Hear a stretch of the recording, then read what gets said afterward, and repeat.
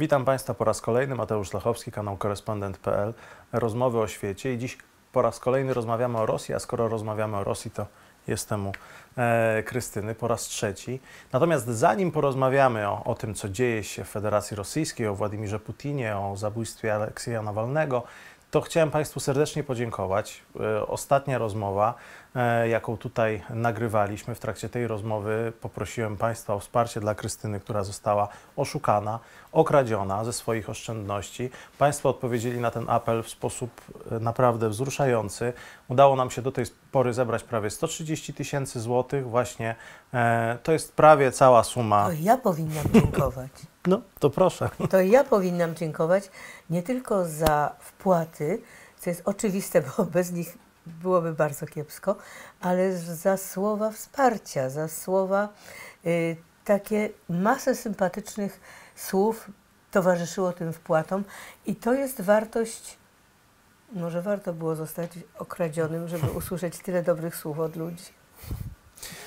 Dziękuję Państwu bardzo jeszcze raz. Dziękujemy Państwu bardzo. E, no a teraz już e, przechodzimy do rozmowy. E, Krysiu, jesteśmy właściwie w przeddzień wyborów prezydenckich w Rosji. Za chwilę, 15 marca, 15-17 marca, przed nami wybory. Co? Prezydenckie. Co? Plebiscyt. Co? Co? Ani plebiscyt, ani jedna wielka ściema po prostu. Największa ze wszystkich, które dotychczas w związku z kolejną, z kolejnym wejściem Putina na tron kremlowski się odbywają pierwsze wybory sfałszowane, mhm. że tak powiem, legalnie, znaczy w normalny sposób. Tak. Jeszcze wtedy, y, to jest 2000 rok mhm. i największym konkurentem Putina jest Ziuganow, szef komunistycznej partii Rosyjskiej Federacji. I y, dzieje się tak, a wtedy można to było obserwować rzeczywiście na bieżąco w telewizji, a studium te, studio telewizyjne było w Ostankino, czyli w, no, w pomieszczeniu telewizyjnym mm, w Moskwie. No i tak siedzę zresztą z koleżanką z Dumy, która była wtedy posłanką do Dumy z partii Jabłoko. No tak siedzimy, pijemy, prawda, herbatę, no i patrzymy, co się dzieje. I dzieje się tak, że jest godzina 10 wieczorem i Putin ma 48% poparcia. To znaczy, że grozi mu druga, druga tura. tura. To znaczy, że Zjuganow tutaj zgarnie co najmniej tyle samo, mhm. jeśli nie trochę więcej. Ma, nie Matko Boska, tylko Matko Kazańska. Co się mhm. dzieje? 9 godzin wcześniej skończyły się wybory na wschodzie. Mhm. No i w międzyczasie, jak krasnale zaczęły pracować nad tymi urnami, tak do godziny 12 wieczorem już Putin miał 52%. No już miał, wszystko było, prawda, jasne. Więc y, to nazwałabym jeszcze fałszerstwem legalnym, to znaczy nielegalnym, fałszerstwem w wyborach. O, fałszerstwem, które polegało na sfałszowaniu wyników, na do, dorzuceniu y, Putinowi ogromnej mhm. ilości głosów i to było do uchwycenia, to się działo. Jest rok 2004 i Putin mm, już właściwie nie ma konkurentów prawdziwych. O, wtedy także jednym z konkurentów jego był ten y, człowiek z y, agrarnej, z partii agrarnej, mhm. który teraz jest, czyli Haritonow.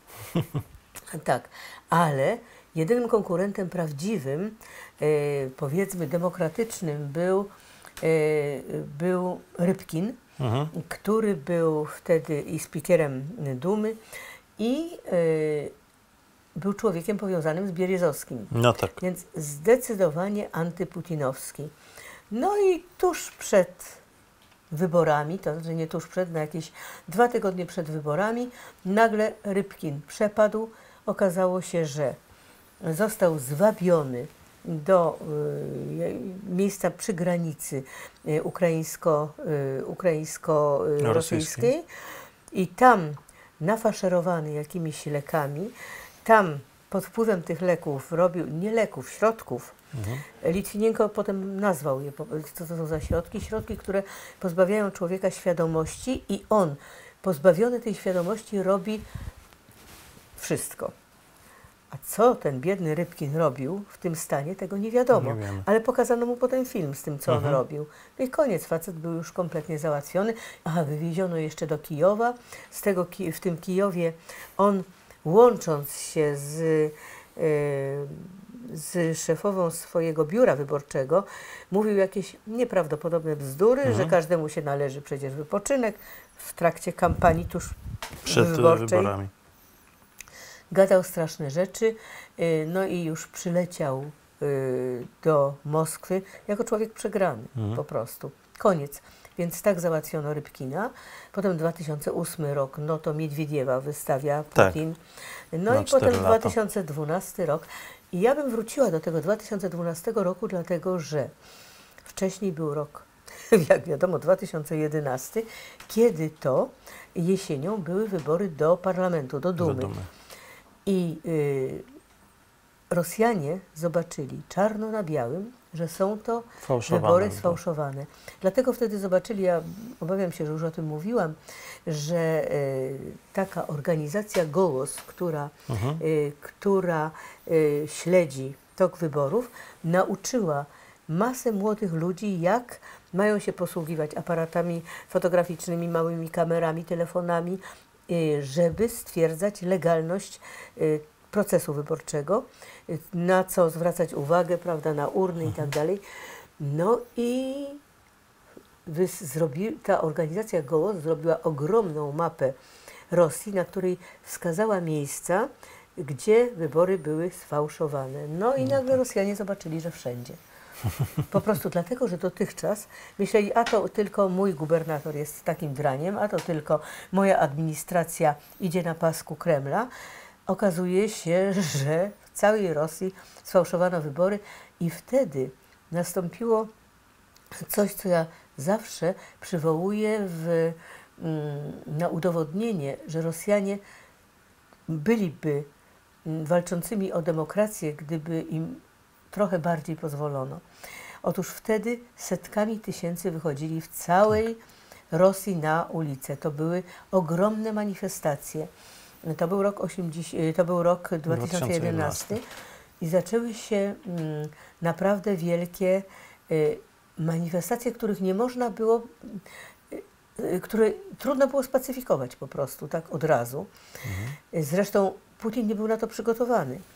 I jest taki zapis, ja oczywiście nie wiem do jakiego stopnia on jest prawdziwy, ale podobno y, już były prezydent Miedwiediew y, powiedział do swojej współpracowniczki, no gdybyśmy wiedzieli, że takie możemy mieć poparcie, bo nie zapominajmy, że Miedwiediew na samym początku swojej prezydentury zdecydowanie chciał się od Putina, że tak powiem, odczepić. Odciąć. To znaczy odciąć i on zaczął przeprowadzać bardzo nieśmiałe na razie mm, reformy, można powiedzieć, demokratyczne i mówił coś tak, że, powiedział rzecz straszną, że państwo, w którym tylko y, się, jest jedna partia, to nie jest państwo demokratyczne, że trzeba y, dać więcej głosu ludziom. No w ogóle mówił rzeczy straszne z punktu widzenia Putina.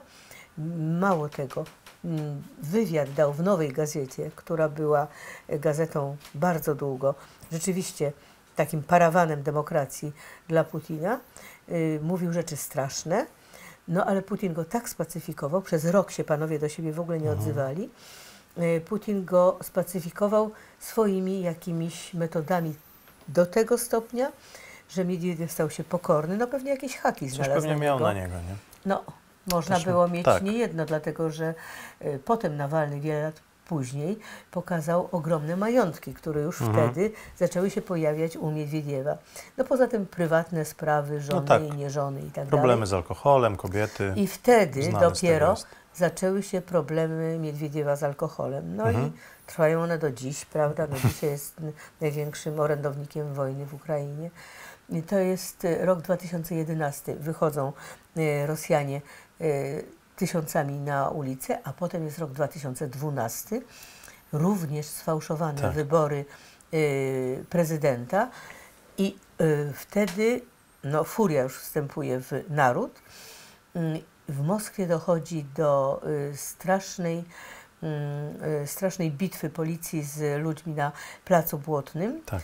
I po, tej, po prostu ludzie zostali wpuszczeni w kanał, że tak powiem. Mhm. Nie mieli dokąd uciekać i no, nastąpiło straszne bicie, pałowanie. Ale wtedy zaczęły się e, masowe mm, prześladowania opozycji, bo dotychczas mhm. one były, oczywiście. Dotychczas aresztowano. Dotychczas, mm, no, nie, od początku różni ludzie, którzy podpadali y, Putinowi, y, lądowali w łagrach. To byli także profesorowie i, określani jako szpiedzy. To są inne mhm. sprawy.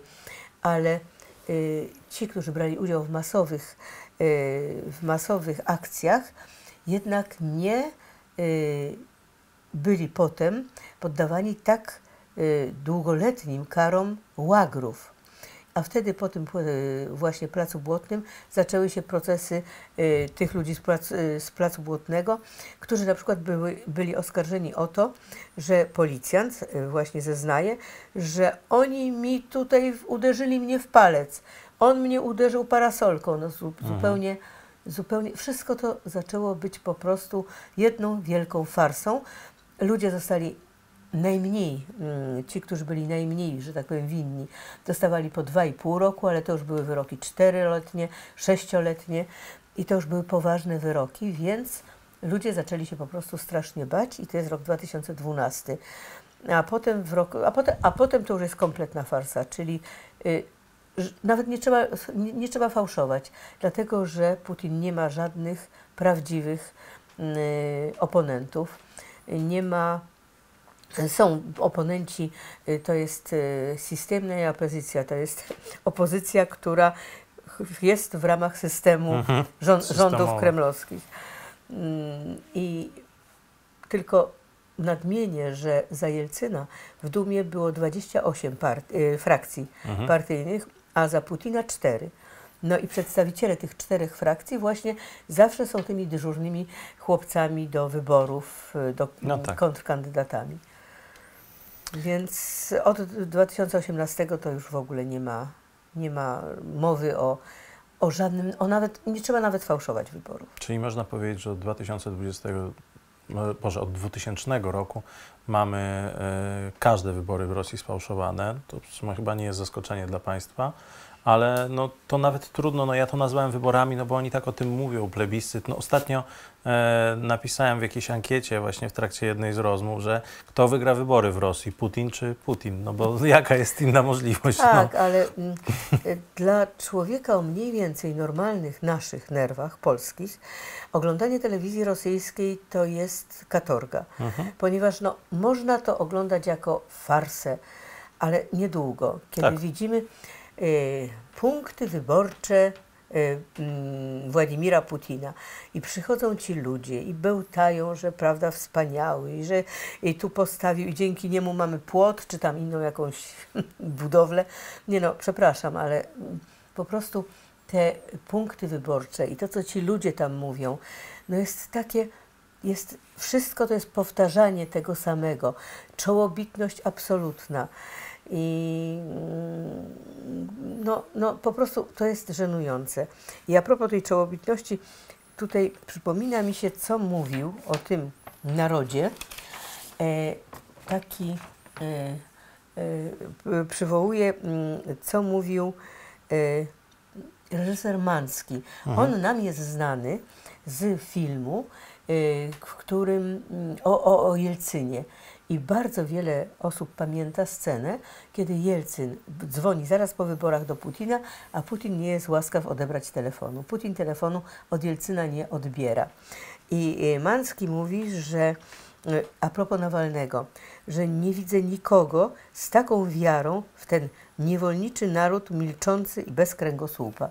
Tak mówi Manski o tym, że właśnie Nawalny widział ten naród inaczej. Mhm. A przypomina mi się Y, Niemcow, którego tak. no, znałam, to za dużo powiedzieć, z którym spotykałam się jako dziennikarka kilkakrotnie. I on mówił, plastelinowy naród, jak naciśniesz, tak będzie. Więc yy, tak, yy, no, oglądanie telewizji rosyjskiej w tej chwili jest po prostu bolesnym doświadczeniem dla umysłu. Tak. E, powiedziałaś o masakrze, na, znaczy masakrze, o protestach na placu, na placu Błotnym, spacyfikowanych. No tam e, świętej pamięci już Nawalny jakby w tych protestach już uczestniczył, tak. prawda? I właśnie tutaj, przecież uczestniczył w nich e, e, zaraz, no tak, jeszcze Niemcow, tak, oczywiście. jeszcze też, tak. I ja, czym się, właśnie wtedy oni się niczym nie różnili. Jeden był wspaniałym mówcą, drugi był wspaniałym mówcą. Tyle, że Nawalny miał chyba więcej siły fizycznej. On potrafił, był, on był po prostu rzeczywistym e, liderem. On e, tak potrafił podprowadzić tym, co on miał to, co ja z rzadka y, używam, czyli charyzmę. Mhm. Ta charyzma polegała na ogromnym, ogromnej inteligencji, umiejętności y, kierowania tłumem, a poza tym, i tu już przejdziemy do tego, dlaczego on stał się tak popularny wśród młodych również, mhm. bo miał ogromne poczucie humoru. No to prawda. I to, to jest szalenie ważna rzecz. On mhm. miał poczucie humoru, poczucie dystansu do siebie, dystansu do całej sytuacji i nigdy nie narzekał. No przecież on był mm, od 2013 roku, kiedy, mm, no wcześniej jeszcze władza się go czepiała, bo on zaczął, on stworzył mm, y, FBK, y, Fundację Y, walki z korupcją. Tak. I na tym on zaczął też, wypływać. On nie walczy z ustrojem, on nie walczy o demokrację i o takie rzeczy, które są trudne do sprecyzowania. Mhm. On walczy z korupcją i zaczyna pokazywać tę korupcję wszędzie, po kolei od niskich urzędników po wysokich i y, dość szybko zostaje mu wytoczony pierwszy proces, potem następny proces. Są to wszystko procesy o mm, nadużycia finansowe w firmie, którą on prowadzi. Bzdura totalna. Ale y, Nawalny podchodzi do tego z dystansem, bierze oczywiście prokurat y, nie prokuratorów, Adwokata. tylko adwokatów, y, wygrywa. Nawalny wygrał sześć procesów, jeśli idzie o Międzynarodowy Trybunał Sprawiedliwości. Mhm. Także państwo rosyjskie miało mu wypłacić 25 tysięcy euro za tamte procesy. Które no, były nie, niesprawiedliwie sfałszowane. Ale jeszcze wtedy nie jest traktowany jako wróg, nie jest tak zauważany mhm. jako wróg. Y, dopiero y, w 2013 roku startuje Nawalny do wyborów prezydenta, przepraszam, mera Moskwy. Mera Moskwy. No i tu się nagle zaczyna, dopuścili go tych, do tych wyborów, no bo kto on jest, jakiś tam, jakiś tam facet z internetu, co dla Putina w ogóle mhm. internet nie istnieje przecież. To trzeba ma. za każdym razem przypominać, że nie istnieje.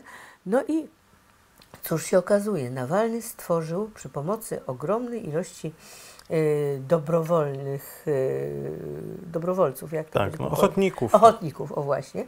Wolontariuszy. Wolontariuszy, tego słowa mi zabrakło. Stworzył wielką sieć na osiedlach mieszkaniowych, do których y, on sam przyjeżdżał, rozmawiał z ludźmi, mhm. Rozmawiał o ich sprawach, rozmawiał o tym, że y, mieszkania powinny być y, nie takie, tylko inne. Odnosił się do wszelkich ich miejscowych bolączek. I masz tu babo placek, on dostaje drugie miejsce. I to nie 27% takie... tak.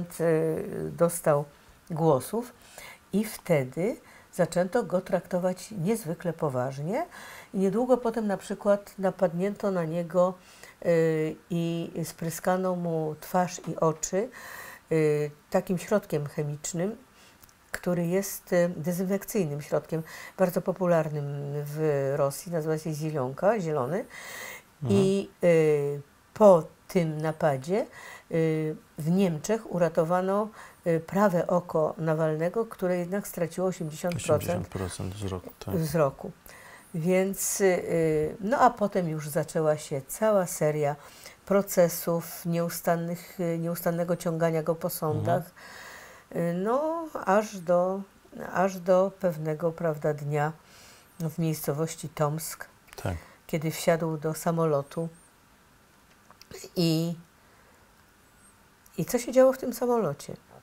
W tym samolocie on nagle y, podniósł się, bo chciał iść do toalety i z tej toalety zaczęło dobiegać wycie. To wycie y, można usłyszeć na, w internecie. Jest y, krótkie wideo mhm. z tym, bo ktoś z pasażerów natychmiast zaczął to, wiedział, że to jest Nawalny i zaczął to po prostu nagrywać. I, i piloci i cały personel rzucił mu się na pomoc. I teraz tu jest bardzo ciekawa rzecz a propos właśnie mm, tych plasty, plastelinowych ludzi rosyjskich. Mhm. Otóż przychodzi z, e, od e, zarządzających lotami e, rozkaz lotu do Moskwy. Nie lądować. Prali, pradliwać, paliot. To znaczy lecieć do Moskwy. Mhm.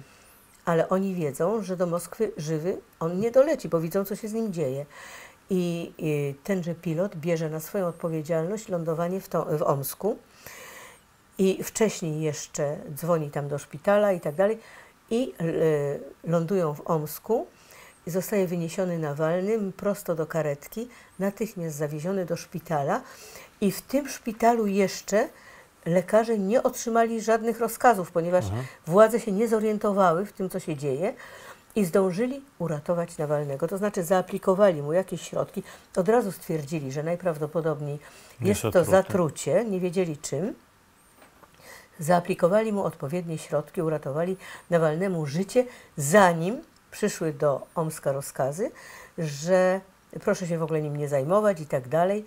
Do też, tegoż Omska zaczęli przylatywać dziennikarze, już wiadomo co się dzieje. Przyleciała żona Nawalnego, no która nie, nie była do niego dopuszczona raz i drugi i trzeci. Działy się tam sceny dantejskie w tymże szpitalu, bo dyrektor szpitala w swojej obronie mm, no, nie dopuszcza w ogóle do, do, do yy, ani tych dziennikarzy, ani żony.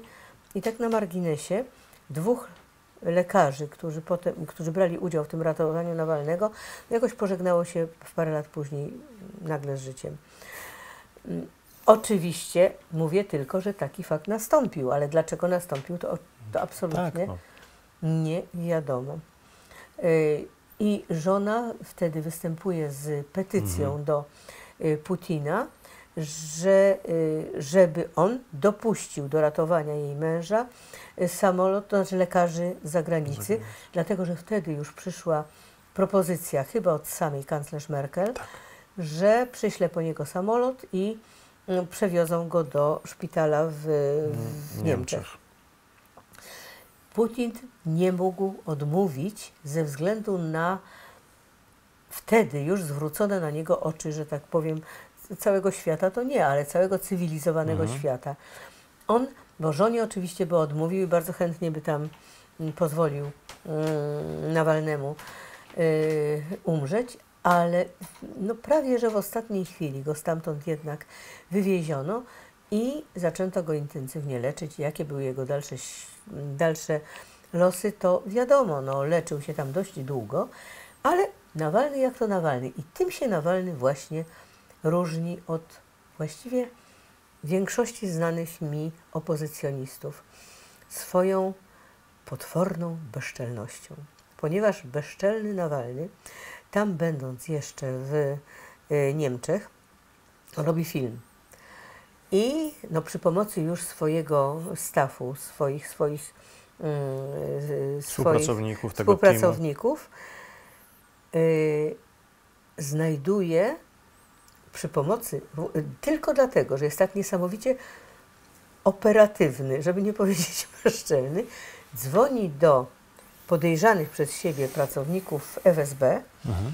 przedstawia się jako y, człowiek, który dla szefa y, ówczesnego FSB Patruszewa y, zbiera informacje, dlaczego nie udał się zamach na Nawalnego kilku mu odmawia rozmowy, mówi, a to nie mhm. przez ten telefon, to będziemy rozmawiać przez inny telefon, to proszę o potwierdzenie. Tak czy inaczej, jeden zaczyna mówić.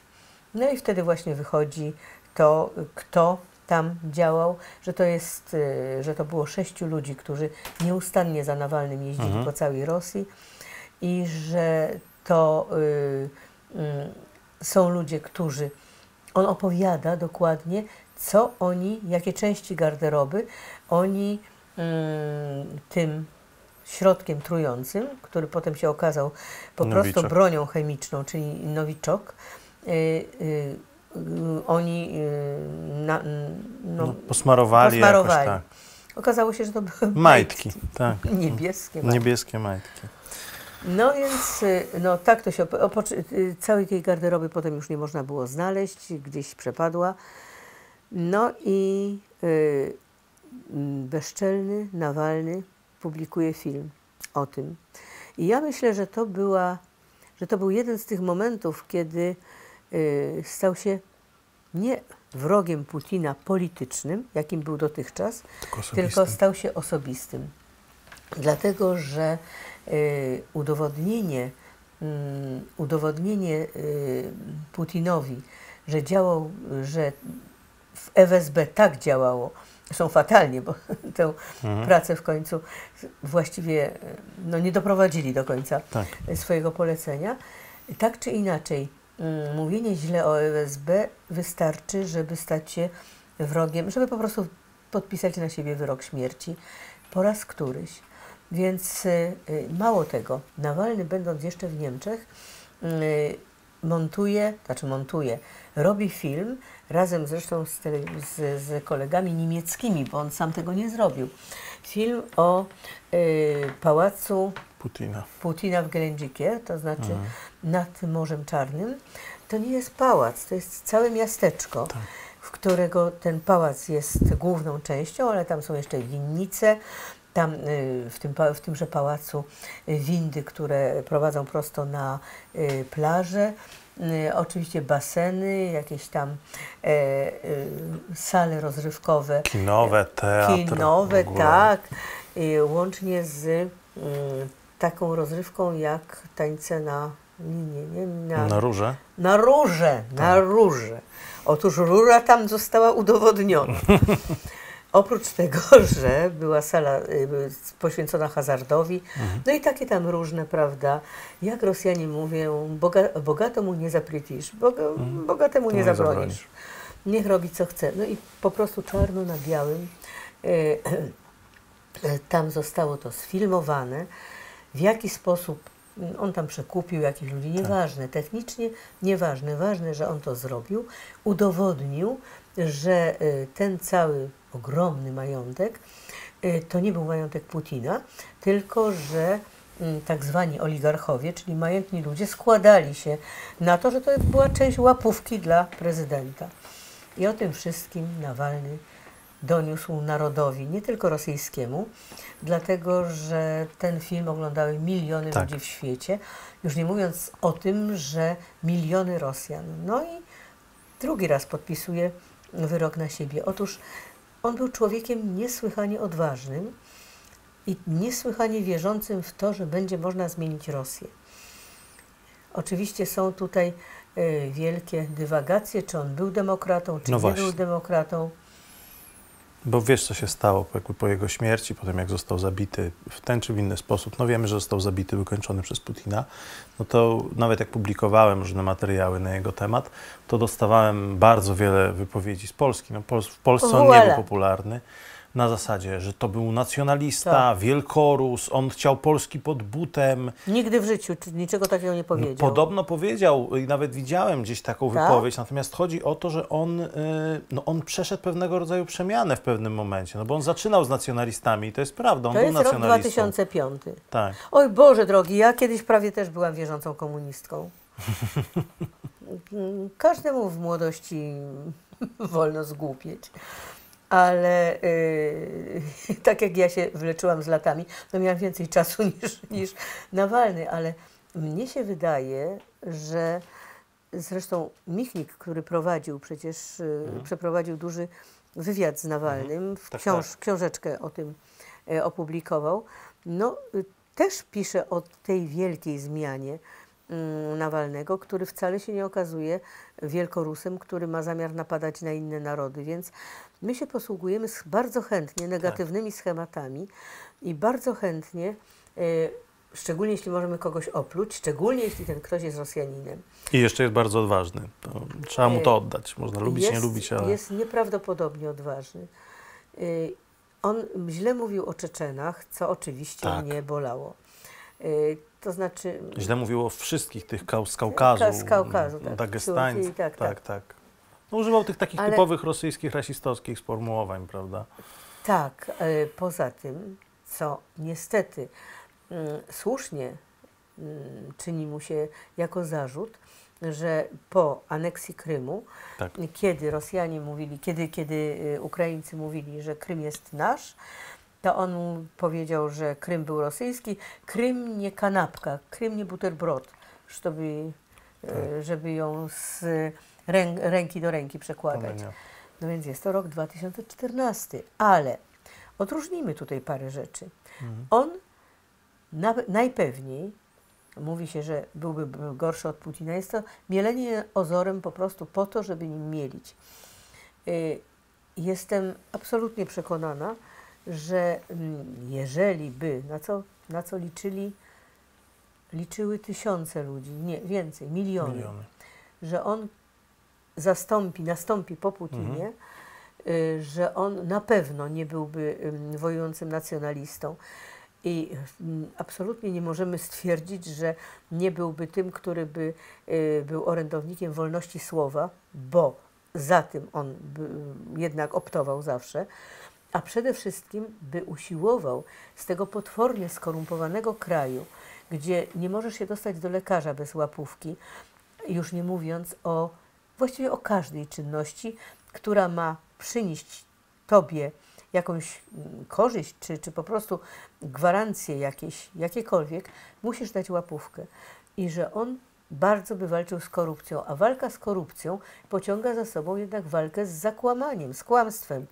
Więc y, mm, przypisywanie go tak automatycznie do nacjonalizmu jest po prostu y, gonieniem za schematami.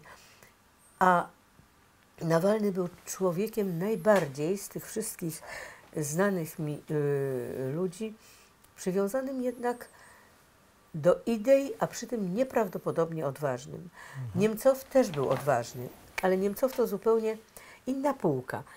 Chcieli tego samego, mniej więcej, ale Niemcow był intelektualistą, Mhm. a Nawalny nim nie był. I to jest, lepiej nie być Ciekawe. intelektualistą. No, kochani, y, pan Putin w swojej młodości, wczesnej, głównie spędzał czas na y, Byciu strasznym chuliganem. potwórku.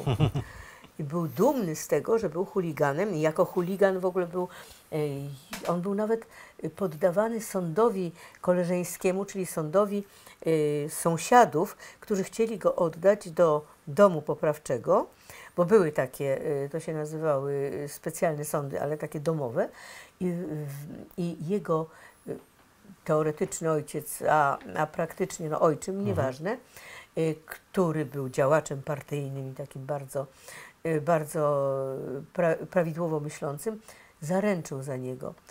I mm, Putin, ale Putin był częstym y, lokatorem izby milicyjnej, izby dziecka Mhm. w, w Leningradzie. Więc no po prostu chuligan taki prawdziwy. A Miedwiediew, jedynak, profesora, który w ogóle na podwórko nie wychodził, ale w wieku 9 lat znał całą encyklopedię ówczesną prawie że na pamięć. Mhm. No więc tutaj potem, potem Miedwiediew jako młody człowiek już zostaje wykładowcą prawa rzymskiego na Uniwersytecie y, Leningradzkim. No, jak, jakie tu są w ogóle porównania? Mhm. Y, Miedwiediew zaczyna y, biegać po Leningradzie, jeszcze po, później przerobionym na Petersburg, roznosząc y, ulotki za teoretycznie prodemokratycznym merem Sobczakiem, który okazał się tam totalnym draniem, ale uchodził i uchodzi demokratę. do dziś za wielkiego liberała i demokratę. No więc tutaj mamy y, Putina, który wprawdzie dzie- jako dzieciak, bo miał wtedy 12 lat, y, wyciąga z, ze śmietnika wrzucony tam portret Stalina i dumnie przybija go na, y, na domu. w którym mieszka, to wtedy skandalem było, bo był to okres antystalinowski, mhm. okres walki z kultem jednostki. No, tutaj mamy tego młodzieńca mhm. i drugiego młodzieńca, który siedzi w bibliotece i czyta encyklopedię. I ich losy się tak właśnie zbiegły, Połączy. Że oczywiście ten chuligan złamał kręgosłup moralny tego synka intelektualisty. Y, w takich okolicznościach, jak okoliczności rosyjskie, zresztą w ogóle w polityce, intelektualiści nie mają właściwie mhm. Y, wielkich szans. Y, a Nawalny intelektualistą nie był, prowadził politykę inaczej, a przy tym był nieprawdopodobnie dziko odważny. Był bardzo honorowy. On miał dwie rzeczy: honor i humor. No tak, to prawda. Nawet w tych filmach to widać. Nawet w tym Pałacu Putina. To jest lekkie. To jest, wiesz, tak nakręcone. Te jego tak. produkcje są momentami zabawne. Też to, to kupowało po prostu. Młodzież. Tak. Młodzież. No przecież y, był taki czas, oczywiście nie tak dawno temu, kiedy w szkole nauczyciele mieli obowiązek mówić, do jakiego stopnia filmy, produkcja Nawalnego jest kłamliwa i że dzieciom nie wolno i żeby nie patrzyli i w ogóle, że Nawalny jest B. Uczono o tym w szkołach. To znaczy było to przedmiotem, było to obowiązkiem nauczyciela. O. I y, dlatego i często pada pytanie, dlaczego Nawalny wrócił. No właśnie. Też się chciałem o to zapytać. Nie rozumiem Ba. tego całkowicie. Byłem zszokowany. Powiem Ci szczerze, tak jakby skorzystam z tej okazji, że do jego śmierci ja miałem wątpliwości, czy rzeczywiście on nie był jakoś dogadany, no bo dla mnie było tak niewyobrażalne to, że człowiek po prostu wrócił po śmierci. No było wiadomo, że oni go wykończą, skoro wraca. I teraz zostawił rodzinę oczywiście. Ta rodzina gdzieś też blisko jest z tą rodziną. To ładna w ogóle figura, te jego relacje z rodziną. Trudno mi sobie wyobrazić, no żeby one to, były... to też mu przysparzało ogromnej popularności. Tak, popularności. No bo... śliczna żona, tak, przyjemne dzieci. Tak. I widać, że niezwykła relacja między nimi. Natomiast teraz też dlatego sporo mówiłem i pisałem o Nawalnym, ponieważ mam taki trochę wyrzut sumienia, że ja sam uwierzyłem w to, że może to był gość, jakiś współpracownik, agent, a tutaj właśnie na oczach całego świata ja ten człowiek został takie... wykończony. W 2018 on startował w wyborach prezydenckich. Mhm. Oczywiście tam zaraz to e, wszystkie głosy, które usiłował zebrać, okazały się nieważne, ale wtedy sobie pomyślałam, oj, coś mi się tutaj to nie podoba, bo przecież... Ale mam, dam odpowiedź y, przez przykład inny. Y, że to są ludzie, których charaktery nie mieszczą się nam w głowach. Otóż Kara Murza, który y, nie tak. tak dawno został skazany na 25 lat, jest to człowiek, który też był truty dwukrotnie mhm. i ratowany w, też w Niemczech który też ma żonę i, i dzieci, jest człowiekiem bardzo silnie wprowadzonym w y, amerykańską publicystykę. Długo żyje w Stanach Zjednoczonych, y, fantastycznie mówi po, po angielsku, może absolutnie, totalnie być prawie że obywatelem Stanów Zjednoczonych. I on teraz wraca, po, kiedy już wojna się zaczyna toczyć, on zwija żagle i wraca do Rosji bo mówi: Ja nie mam prawa jako emigrant rosyjski mówić moim rodakom, co mają robić. Ja muszę być na miejscu. Y, I to jest Karamurza. A Ilja Jaszyn tak samo. Mhm. Ilja Jaszyn, który świetnie mówi po angielsku, który y, ja jeszcze pamiętam Ilię Jaszyna 20 lat młodszego, kiedy zaczynał jako w młodzieżowej, w młodzieżówce Jabłka. Mhm. Y, zawsze w opozycji. I tenże chłopak także miał wszelkie możliwości bycia za granicą, pozostania za granicą. Ilia Jaszyn mówi co innego. Ja nie wyjadę za granicę, mimo próśb, no, mimo, mimo drogi, którą mu tam ścielono. Ja nie wyjadę z Rosji, bo nie będę miał prawa zabierać głosu. Więc oczywiście nam z naszych wygodnych foteli, które zajmujemy od dziesiątek lat, bardzo trudno zrozumieć Rosjan, którzy po prostu nie mogą wytrzymać tego terroru psychicznego i tego terroru strachu, w którym jest wychowywane całe społeczeństwo. Ja często mówię o tym i pisałam, że e, Rosjanie rodzą się z, e, z chromosomem strachu. Mhm. I sto razy to mówiłam, aż wstyd mi powtarzać, że od Mongołów cały czas są poddawani terrorowi. Tak. Że y, demokrację krótko miał Niżny Nowgorod, którego Iwan, który Iwan Groźny tak. utopił, utopił tak. we krwi. I że mówiłam o tym, jak, co znaczy utopił we krwi. To znaczy, że mhm. do, niemowlęta przywiązywał do matek i wrzucał do, do, do, do, do rzeki. rzeki. Że y, mężczyzn rżnięto na odlew, sadzano na pale. No w ogóle nie, nie będę tutaj się specjalizować w opisywaniu tortur. Tak. Ale y, powiedzenie, że y, Nowgorod, Niżny Nowgorod był utopiony we krwi jest po, mhm. pojęciem dosłownym. Więc przechodzą przez wszystkich carów.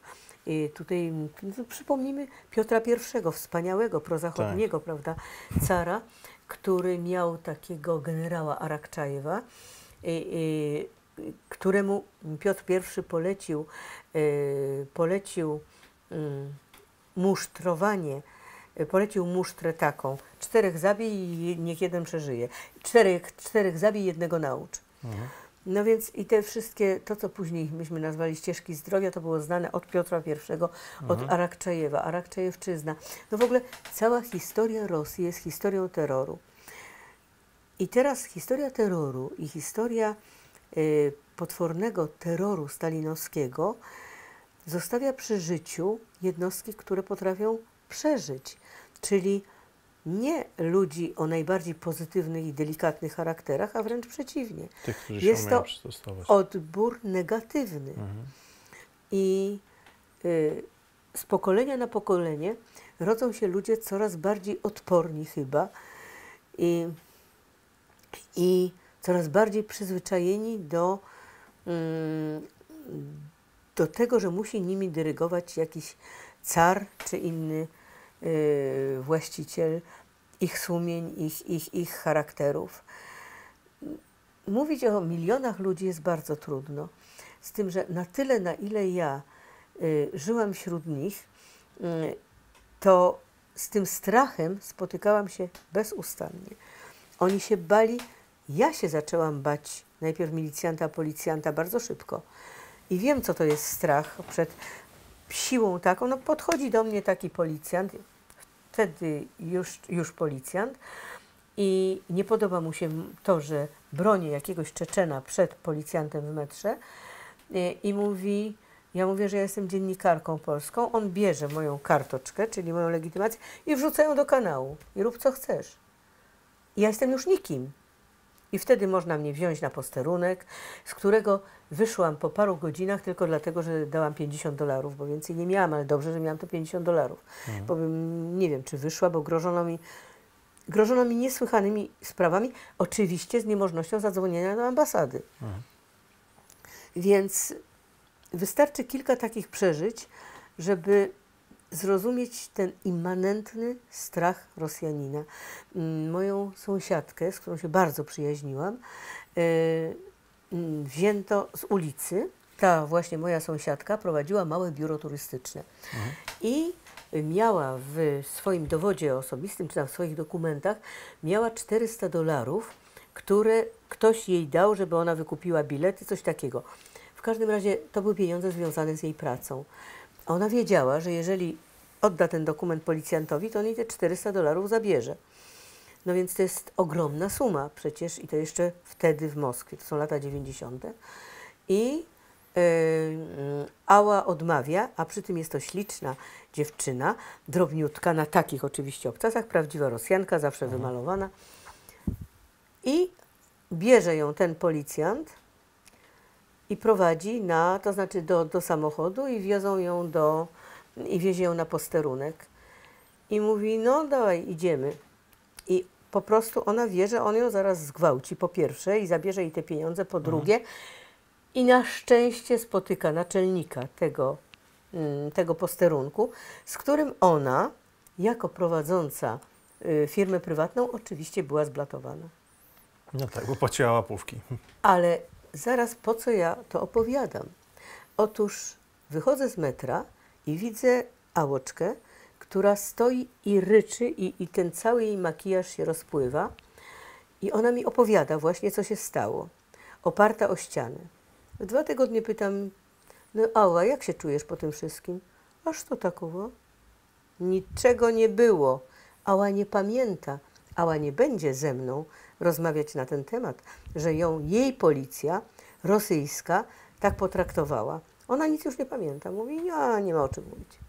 Więc o to chodzi. Po pierwsze dlatego, że ja jestem cudzoziemką, mimo wszystko, że żyję tam tyle lat i wypiłam z tą Ałą 100 herbat, ale mimo wszystko ja dla niej byłam, nie byłam jej, nie byłam jej. To znaczy nie byłam na tyle ruska, żeby ona mogła przede mną wypłakiwać się na ich policję. Ale jest coś więcej. Po latach ja się dowiedziałam, po tym jak miałam kilkakrotnie rewizję pod moją nieobecność, e, przeprowadzoną dość sprytnie i tylko po moich kotach widziałam przerażonych, że coś się działo, a poza tym raz zbliżam się do domu, patrzę, jest, ktoś gasi światło, że gaśnie światło w mieszkaniu, a ja zawsze zostawiałam światło włączone. E, I Ała mi mówi, a nie, oni tak przeprowadzają e, rewizję, że nie poznasz. Wiem, bo mój tata pracował w KGB. I wtedy dopiero, i wtedy, ale wszystko to, jej tata, który pochodzi z Ukrainy i którego dziadek umarł w Głodomorze. Mhm. I, którego, I ona opowiadała, jak ludzie pełzając z głodu się wydostawali z tej Ukrainy. No więc tutaj Głodomor, tutaj ta w, FSB, w KGB, y, tu ta osoba, która potem bardzo mi pomagała w ratowaniu moich Czeczenów. Więc naprawdę y, wydawać sądy kategoryczne na temat Rosjan y, bardzo jest y, mi trudno. Kiedyś, zaraz po powrocie, niedługo po powrocie z Rosji, jeden z kolegów dziennikarzy przeprowadzał ze mną wywiad i pytał mi się, dlaczego ty ich tak nie lubisz? A wtedy jeszcze widocznie te wszystkie mm, emocje we mnie bardziej buzowały, ale z biegiem Y, lat nabrałam większej odpowiedzialności po prostu. Szczególnie odpowiedzialności za mówienie o Rosjanach, bo, bo zawsze, nawet, nawet kiedyś napisałam takie mądre zdanie, jaki to byłby wspaniały naród, gdyby pozwolono mu nie być nieszczęśliwym. Mhm. Jest to naród po prostu z pokoleń nieszczęśliwy. To nie jest tak, że alkoholizm jest dlatego, że oni po prostu bardziej lubią, no oczywiście jest tam zimniej mhm. trochę, więc piją więcej trochę wódki niż my, ale typowe dla Rosjan jest to picie na kuchni. To znaczy w kuchni, kiedy oni są już tylko w towarzystwie swoich, swojej rodziny i wtedy naprawdę mogą mówić to, co myślą, a i to, co czują, wykazywać to, co czują, a czują przede wszystkim nieustanny, o wiele większy niż możemy sobie wyobrazić strach. Strach przed naczelnikiem, przed administratorem, przed dozorcą, przed polic milicjantem, policjantem, który się zamienił potem w policjanta, przed wszystkimi. Jest to immanentny strach przed władzą, naj, najmniejszą. Y, to może być y, pani sprzątająca, y, która starała się we mnie wzbudzić strach w Picundzie, bo stawiałam rzeczy nie tak, jak ona chciała, ale to poczucie władzy nad każdym, kto jest poniżej, jest dojmujące, mhm. jest, stra jest straszne. No, w Pandrioszce to opisuje, co mi oczywiście koleżanka z Rosji miała za złe, opisuje jak stoimy w kolejce, jak stoję w kolejce i po, po bilety, jak, bile, jak pani z tej y, kasierka zamyka okienko, nie sprzedaje biletów i tylko ja się buntuję. Dlaczego? Co się dzieje? Okazuje się, że przyszła kontrola i ona poszła z kontrolą na obiad. Po prostu. I jak ta kolejka patrzy na mnie z takim niezrozumieniem, co ja tu wyrabiam.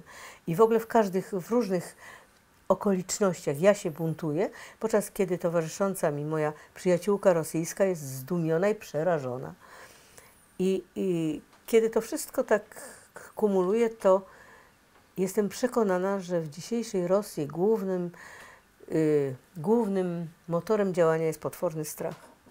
O, teraz oglądałam dzisiaj reportaż z ulic Rosji, ale nie wiem z jakiego miasta, kiedy y, y, reporterzy jakiejś tam telewizji czy innego mhm. medium podchodzą i pytają się, a co pan myśli o śmierci Nawalnego? Nawalny, a kto to? A ja nie interesuję się polityką, a mnie to nie obchodzi. I tylko jedna starsza pani, która widocznie e, już nie ma niczego do stracenia, mówi prawdę, że zabito w nas nadzieję, że to, że to jest straszne, że miliony go popierały po cichu. E, I o tym samym mówi młody człowiek, ale odwrócony tyłem do kamery. Więc bardzo na mnie, bardzo, bardzo jest mi trudno rzucać w Rosjan tylko kamieniami. Oczywiście, tak jak powiedział Majs, Majski, że jest to jak? Że jest to naród niewolniczy, milczący, bez kręgosłupa. Oczywiście, ale nie bez przyczyny. Przyczyna jest historyczna, tak. a że on, oni są tacy i że nas to doprowadza do szału, to jest prawda. I że mnie to doprowadzało do złości, to jest prawda. I że sama od nich też słyszałam niejednokrotnie, że ci Polacy to zawsze tacy, tak, tego, tak. honory i tak dalej, mm, ale...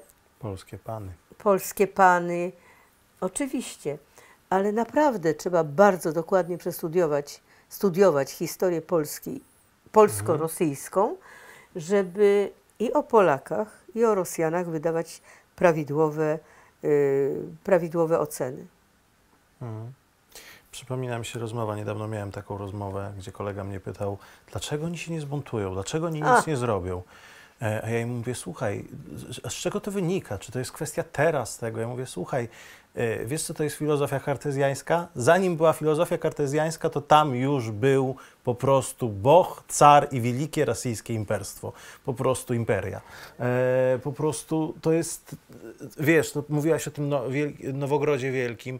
E, pamiętam, jak gdzieś czytałem, że Iwan Groźny mordował i modlił się. I to się najbardziej, i to, to, to jest jakby to wszystko no opisuje w Rosji, prawda? Że teraz to, to prawosławie, ta pokuta, tak to jest. cierpienie, to... Ci, tak, wszystko to jest tak. Pieriterpi, to tak. znaczy mm, przecierp tak. właściwie. Przetrzymaj to, Prze, Przetrzymaj, yy, przecierp, ale jednak to nieustanne poczucie knuta jest po prostu tak w nich wrodzone. Mhm. Nie podskakuj, nie wychylaj się, siedź cicho. Przecież stamtąd się bierze po, po ich powiedzenie, że trzeba żyć mm, cisze, nie pamiętam. Ty, cisz, jedziesz, dalej budziesz. Nie, nie, nie, nie. nie. Y, niżej trawy, nie pamiętam, ale w każdym razie trzeba być tak cicho, jak mm, jakbyś żył pod trawą, już okay. pod ziemią. Y, oczywiście, że ciszej jedziesz, dalszy budziesz, ale nie tylko. A poza tym y, Rosjanin,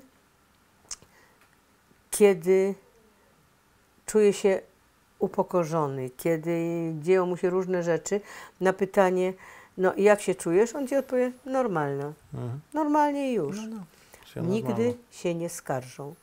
Nigdy nie usłyszysz, że są nieszczęśliwi. No i, no i cóż, no i, i tak to jest. A, a dlaczego Putina tak pokochali? Pokochali Putina dlatego, że podniósł ich z kolan. No. Tak, dał im dumę znowu. Prawda? Dał im dumę, którą im odebrało tak. rozbicie Związku Radzieckiego po prostu. Ktoś bardzo mądrze powiedział, że największymi sojusznikami Putina są ci, którzy nie mogą się pogodzić z upadkiem Związku Radzieckiego. No. Mhm.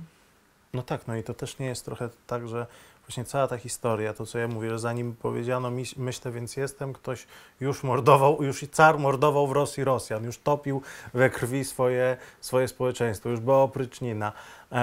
No, wyrywanie brud. Tak, i tak dalej ale jeszcze zanim, jakby wiesz, jeszcze poza tym wszystkim jest jeszcze to, że kiedy oni raz chcieli tej demokracji, kiedy oni raz dostali pierwszego sekretarza, który też był, ja uważam Gorbaczowa za strasznego człowieka, żebyśmy się umówili. Ja uważam go za bardzo złego człowieka.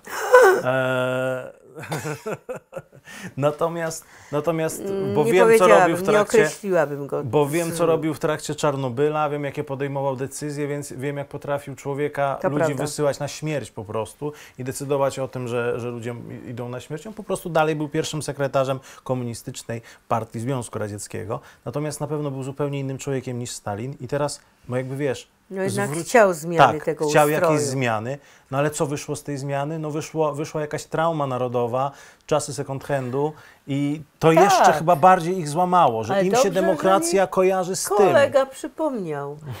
Miliony ludzi na placach, tak. kiedy ja tam przyjeżdżam, jest rok 90 i yy, startuje do wyborów wtedy Jelcyn i miliony ludzi go popierają i tak. miliony ludzi są krzyczą demokracja, nie mając pojęcia o tym, co to jest demokracja. Co to będzie? Dla nich demokracja to były pełne sklepy.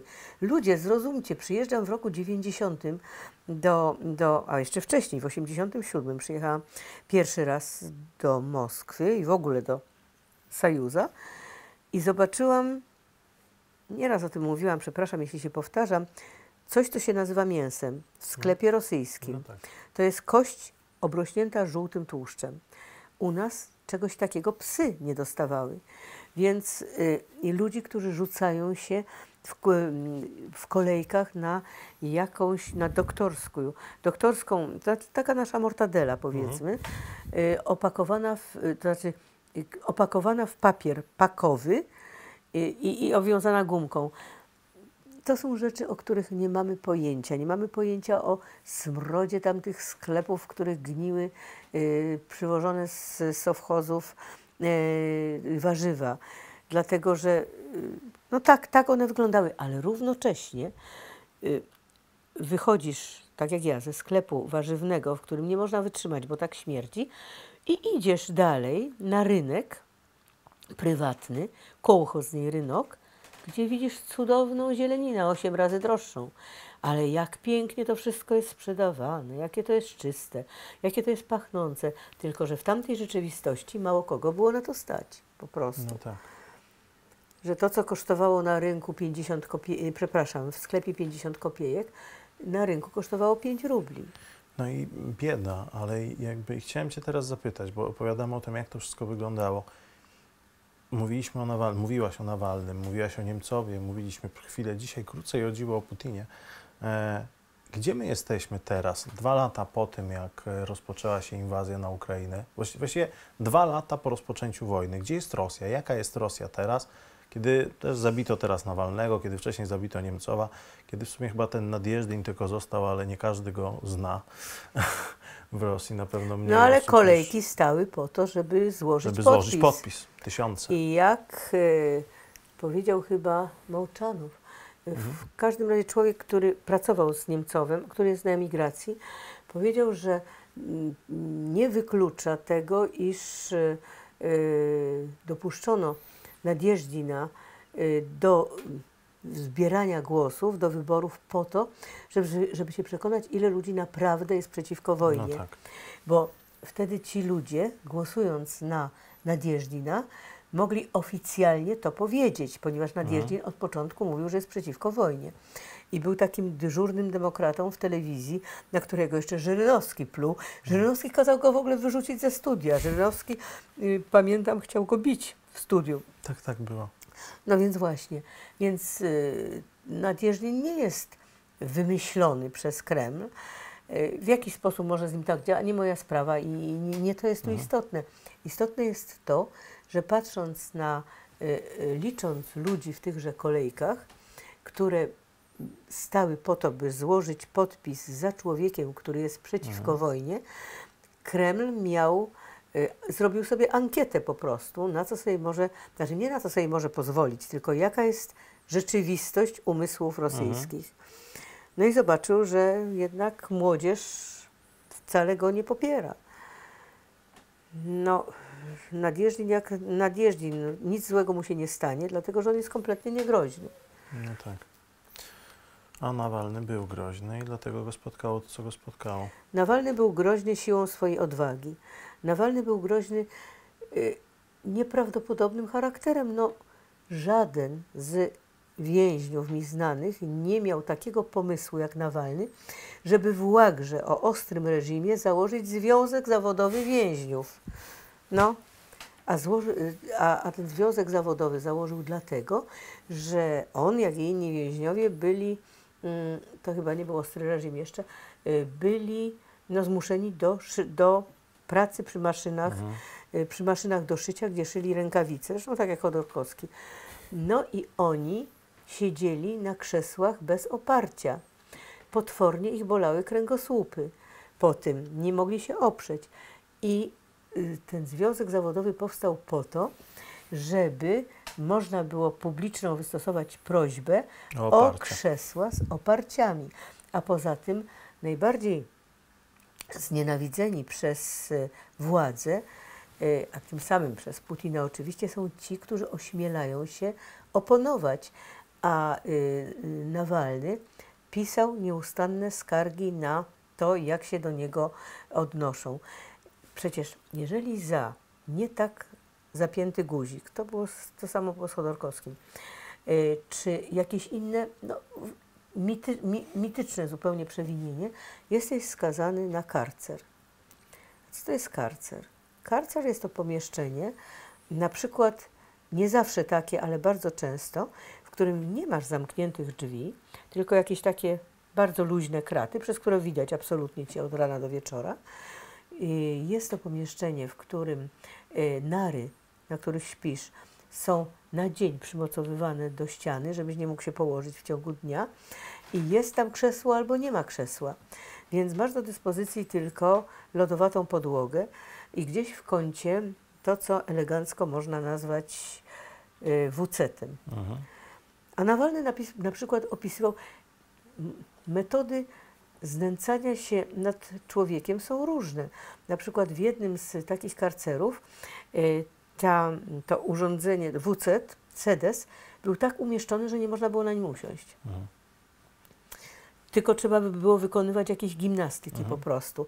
No, znęcać się można w różny sposób. Znęcano się nad Nawalnym e, na przykład e, tak, że e, włączano na całą noc światło. Mhm ale mm, oprócz tego włączano jeszcze y, radiowęzeł z muzyką, albo wrzucano mu do tego karceru, czy do innego pomieszczenia, w którym, czy do celi, człowieka, który, no mówiąc po prostu, nieoględnie śmierdział, dlatego, że w ogóle się nie mył, a jeszcze do tego miał jakieś kłopoty tam jelitowe. Albo obok umieszczano w celi y, chorego psychicznie, który cały czas wył. Mhm. Więc nie trzeba człowiekowi łamać żeber po to, żeby go torturować. I dlatego Nawalny z człowieka, no, z mężczyzny, jak mhm. się patrzy, przystojnego, wysokiego, 1,90 m, prawda, yy, zamieniał się powoli, powoli w szkielet tak. oprawiony w siniejącą skórę z y, podbitymi oczami.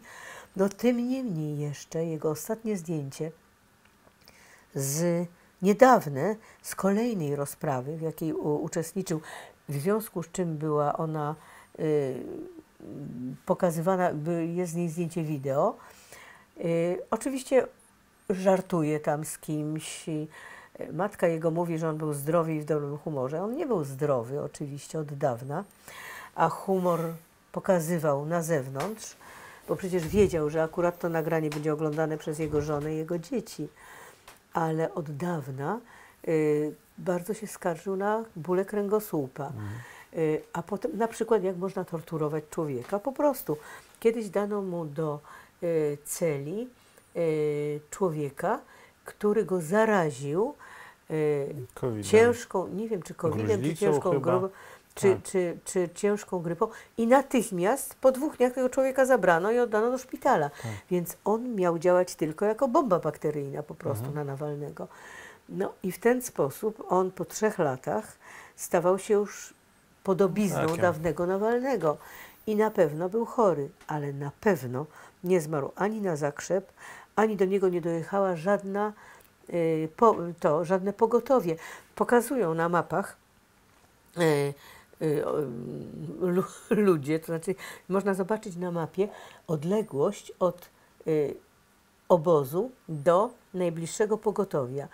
I jest napisane, że pogotowie po dwóch czy po siedmiu minutach się tam zgłosiło, co jest w ogóle fizycznie niemożliwe, patrząc na mapy i znając tamte mhm. drogi. To nie są nasze asfaltowe drogi, naprawdę. Czy nawet to nie są ich asfaltowe drogi, to są drogi pełne dziur i nie ma, w ogóle nie wiadomo, czy było tam pogotowie i nie wiadomo, gdzie są zwłoki Nawalnego, prawda?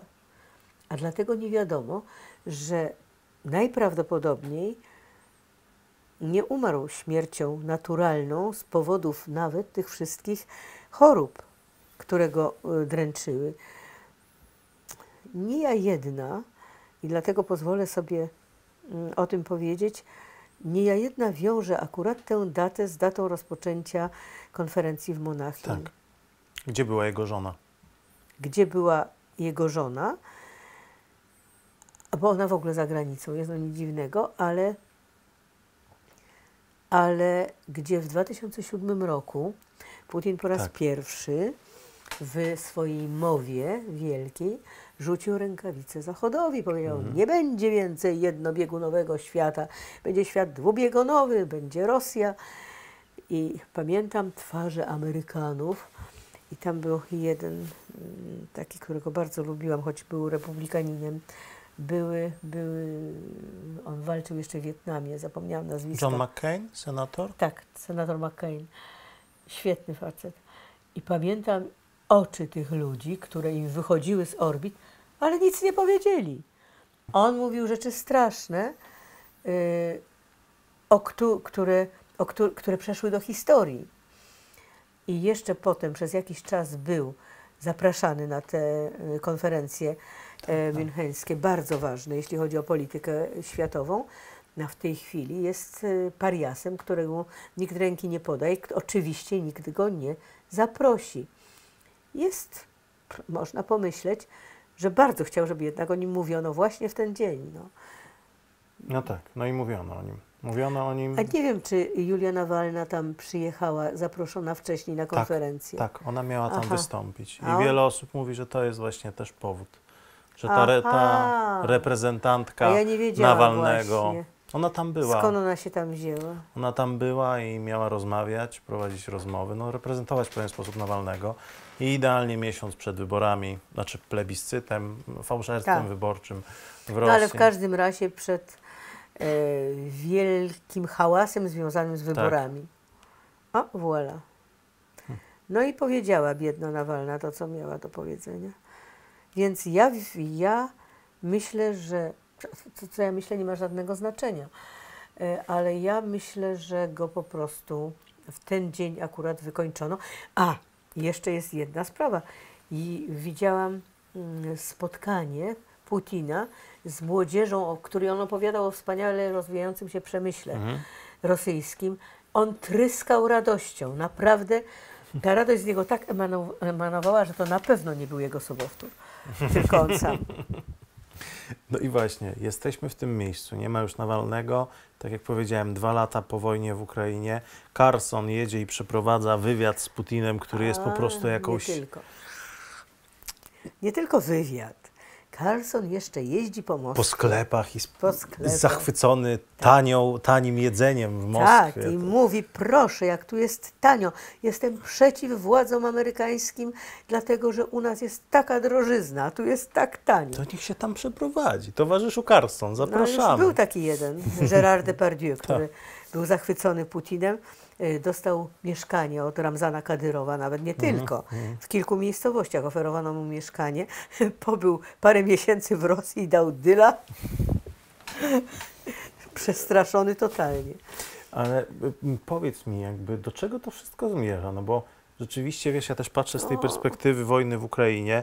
Właśnie padła, do, niedawno padła Awdijiwka. Rosjanie zgromadzili 70 tysięcy mm, żołnierzy pod samą Awdijiwką. Mają no po prostu miażdżącą przewagę w sprzęcie. Pod Awdijiwką to było chyba 12 do 1. Jeśli chodzi o ilość żołnierzy, to też jest 5-6 razy e, więcej niż mają Ukraińcy. W innych miejscach na froncie też jest ciężko.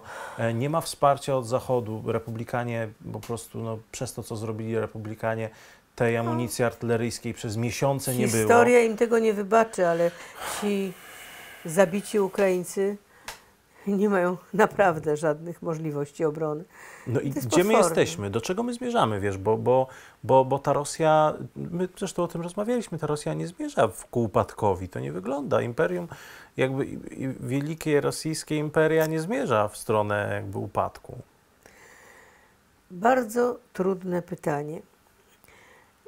Oczywiście nie, wygląda na to, że wszystko zmierza w jak najgorszym kierunku, ale jako osoba bliska Putinowi jestem przekonana absolutnie, że nienawidzą go wszyscy. No może oprócz zależnych od niego kobiet, nie wiem. Mhm.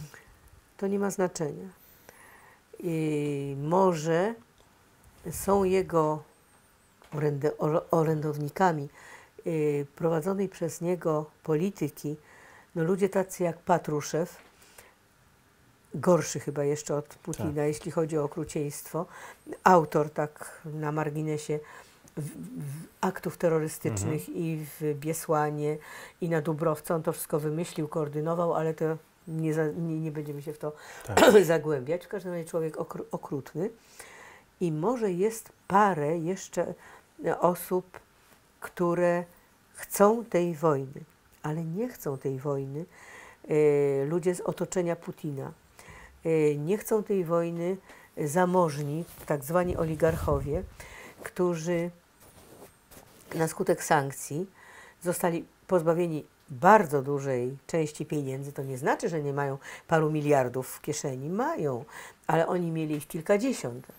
E, nie mogą wyjechać do swoich posiadłości. E, żony, dzieci, kochanki pytają, dlaczego willa nasza na Lazurowym Wybrzeżu stoi e, sama i, i tak dalej, dlaczego rdzewieją nasze jachty, dlatego, dlaczego nie możemy latać swoimi wspaniałymi samolotami i tak dalej. No, y, może trochę przesadzam, ale nie za bardzo. Takich ludzi jest bardzo, bardzo dużo. A poza tym ci miliarderzy, którzy są w Moskwie, y, bo albo musieli wrócić z Zachodu, jako że stamtąd ich wyrzucano z Wielkiej Brytanii i mhm. niektórzy jeździli do Izraela, z Izraela musieli tak czy inaczej wrócić do Rosji. Oni muszą finansować mm, zbrojenia po prostu. Także, więc y,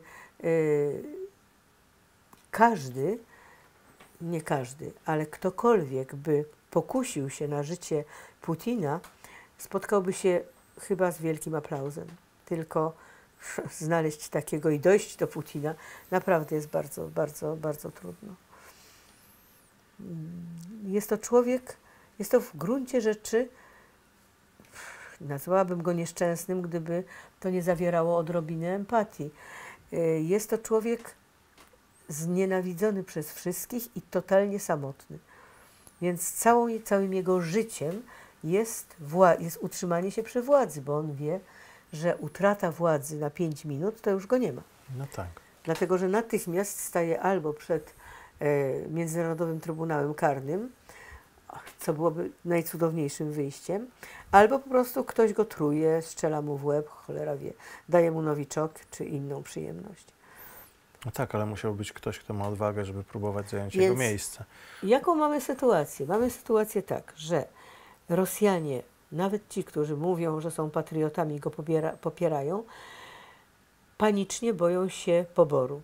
Mhm. Czyli Rosjanie od wieku, w tej chwili już 16 lat, do 65 boją się strasznie pójścia na wojnę, udając, że są patriotami i że oczywiście pójdą e, walczyć o ojczyznę przeciwko strasznemu NATO. Przypominam, że oni się bronią przeciwko NATO i faszyzmowi no tak, ale też ukraińskiemu. Wiele osób w to wierzy, naprawdę. Takie mam poczucie, jak no czytam wierzy. ten telegram, tak. jak czytam te kanały, jak to śledzę. Teraz jeszcze siedziałem, leczyłem się, to bardzo to śledziłem. To jest dla mnie coś niewyobrażalnego, bo jak patrzyłem na to jeszcze dwa lata temu, miałem poczucie, że oni jeszcze tego nie wykają, że to jest jeszcze tak jednak takie wszystko, że nie wiedzą, jak się odnieść do tej wojny. A jednak część tych takich najprostszych, najbiedniejszych, wiesz, tych ludzi, którzy zarabiają 10 tysięcy rubli. O to chodzi. Co oni mają więcej poza Wielką Ojczyzną? No właśnie. A tam jak pójdą do wojska, przecież jest skupy ochotników, wiesz. A płacą e, bardzo dobrze. No tak. No jeżeli ktoś no zarabia 10 tysięcy rubli, czyli 400, no a tam dostaje 140, 140 dolarów, a tam dostaje 200 tysięcy rubli, a przynajmniej ponad 100 tysięcy rubli, czyli 10 albo 20 razy tyle, proszę Państwa, no to... U, a jeszcze jak żona ma męża pijaka, bardzo chętnie go wyśle na wojnę i bardzo chętnie przyjmie wiadomość, że go nie ma, bo wtedy dostaje ogromne odszkodowanie. odszkodowanie. Tak.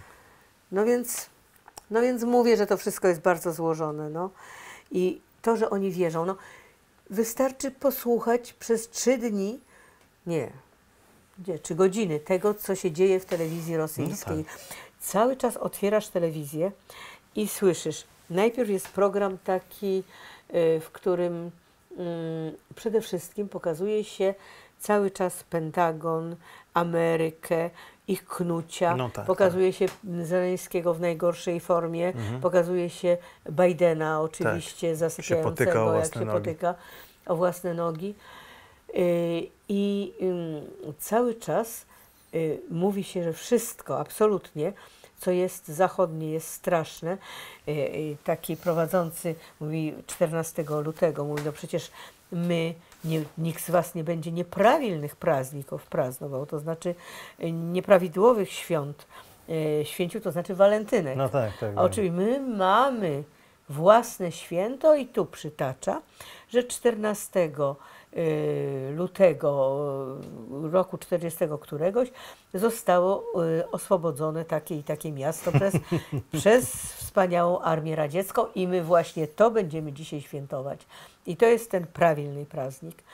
I no jeżeli tego słuchasz, jeżeli y, z trudem masz co do garka włożyć, jeżeli otacza cię bida z nędzą dookoła, jeżeli do najbliższego szpitala masz 30 kilometrów, jeżeli na przykład jak 30 milionów y, gospodarstw nie masz nawet y, toalety, toalety więc kanalizacji w ogóle, mhm. jeżeli chodzisz po wodę do studni, to jest, są już powiedzmy no, te przypadki y, prowincji, ale tych małych miasteczek, w których tak. naprawdę się nic nie dzieje i w których no, jedyną atrakcją jest to, że mamy właśnie y, nowy pogrzeb albo albo że przyjedzie do nas jakiś tam generał i, i, będzie nas namawiał, i będzie namawiał naszych mężczyzn do tego, by zostali bohaterami. No.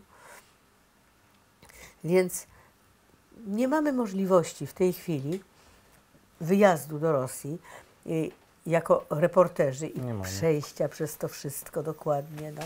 Wspominałam Ci o książce Mai Wolny, która tak. y, y, wyjechała tam w 22 roku, już po, y, inwazji. po, po inwazji i jeździ po miastach, rozmawia z ludźmi, wszyscy się odżegnują od od, od rozmowy o wojnie. Mówią, tak. mówią, że nie trzeba, y, że, że NATO, mówią, że na faszyści w Ukrainie, tak. a w ogóle to, że oni się polityką nie zajmują i żeby ona dała tak. im święty spokój. No. No, i że się muszą bronić. Wiesz, mnie przeraża co innego. Ja pamiętam, jak śledziłem te kanały na początku tej wojny, tak jak powiedziałem, że oni częściowo nie wiedzieli, jak się o, takie miałem poczucie, że jakiś wyrzut sumienia był, że to jednak Ukraińcy, że to bratni naród, drużby narodów, zna, no, znajesz, no po prostu, no. że tu ich bombardujemy. Dlaczego no my ich bombardujemy? No Tych właśnie. Ukraińców, przecież zawsze z nimi dobrze żyliśmy.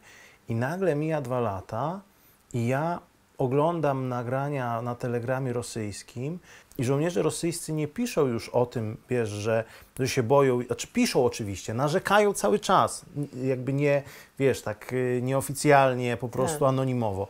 Natomiast nagle ja trafiam na nagranie po prostu z opisem, gdzie siedzi żołnierz rosyjski na rozwalonym po prostu w drobny mak, takim szkielecie budynku pod Bachmutem. Bachmut zrównany z ziemią, który znam i zna też Maciek tutaj za kamerą, po prostu zrównany do, do, do, po prostu do ziemi. I na tle tego miasta ten e, chłopak śpiewa grając na gitarze w mundurze tam e, piosenkę do mamy po prostu a tytuł jest Tylko nie mów mojej mamie, że jestem w Bachmucie. Pamiętam, jak kiedyś oglądałem nagrania z lat 90., tylko nie mów mamie, że jestem w Czeczeni po prostu.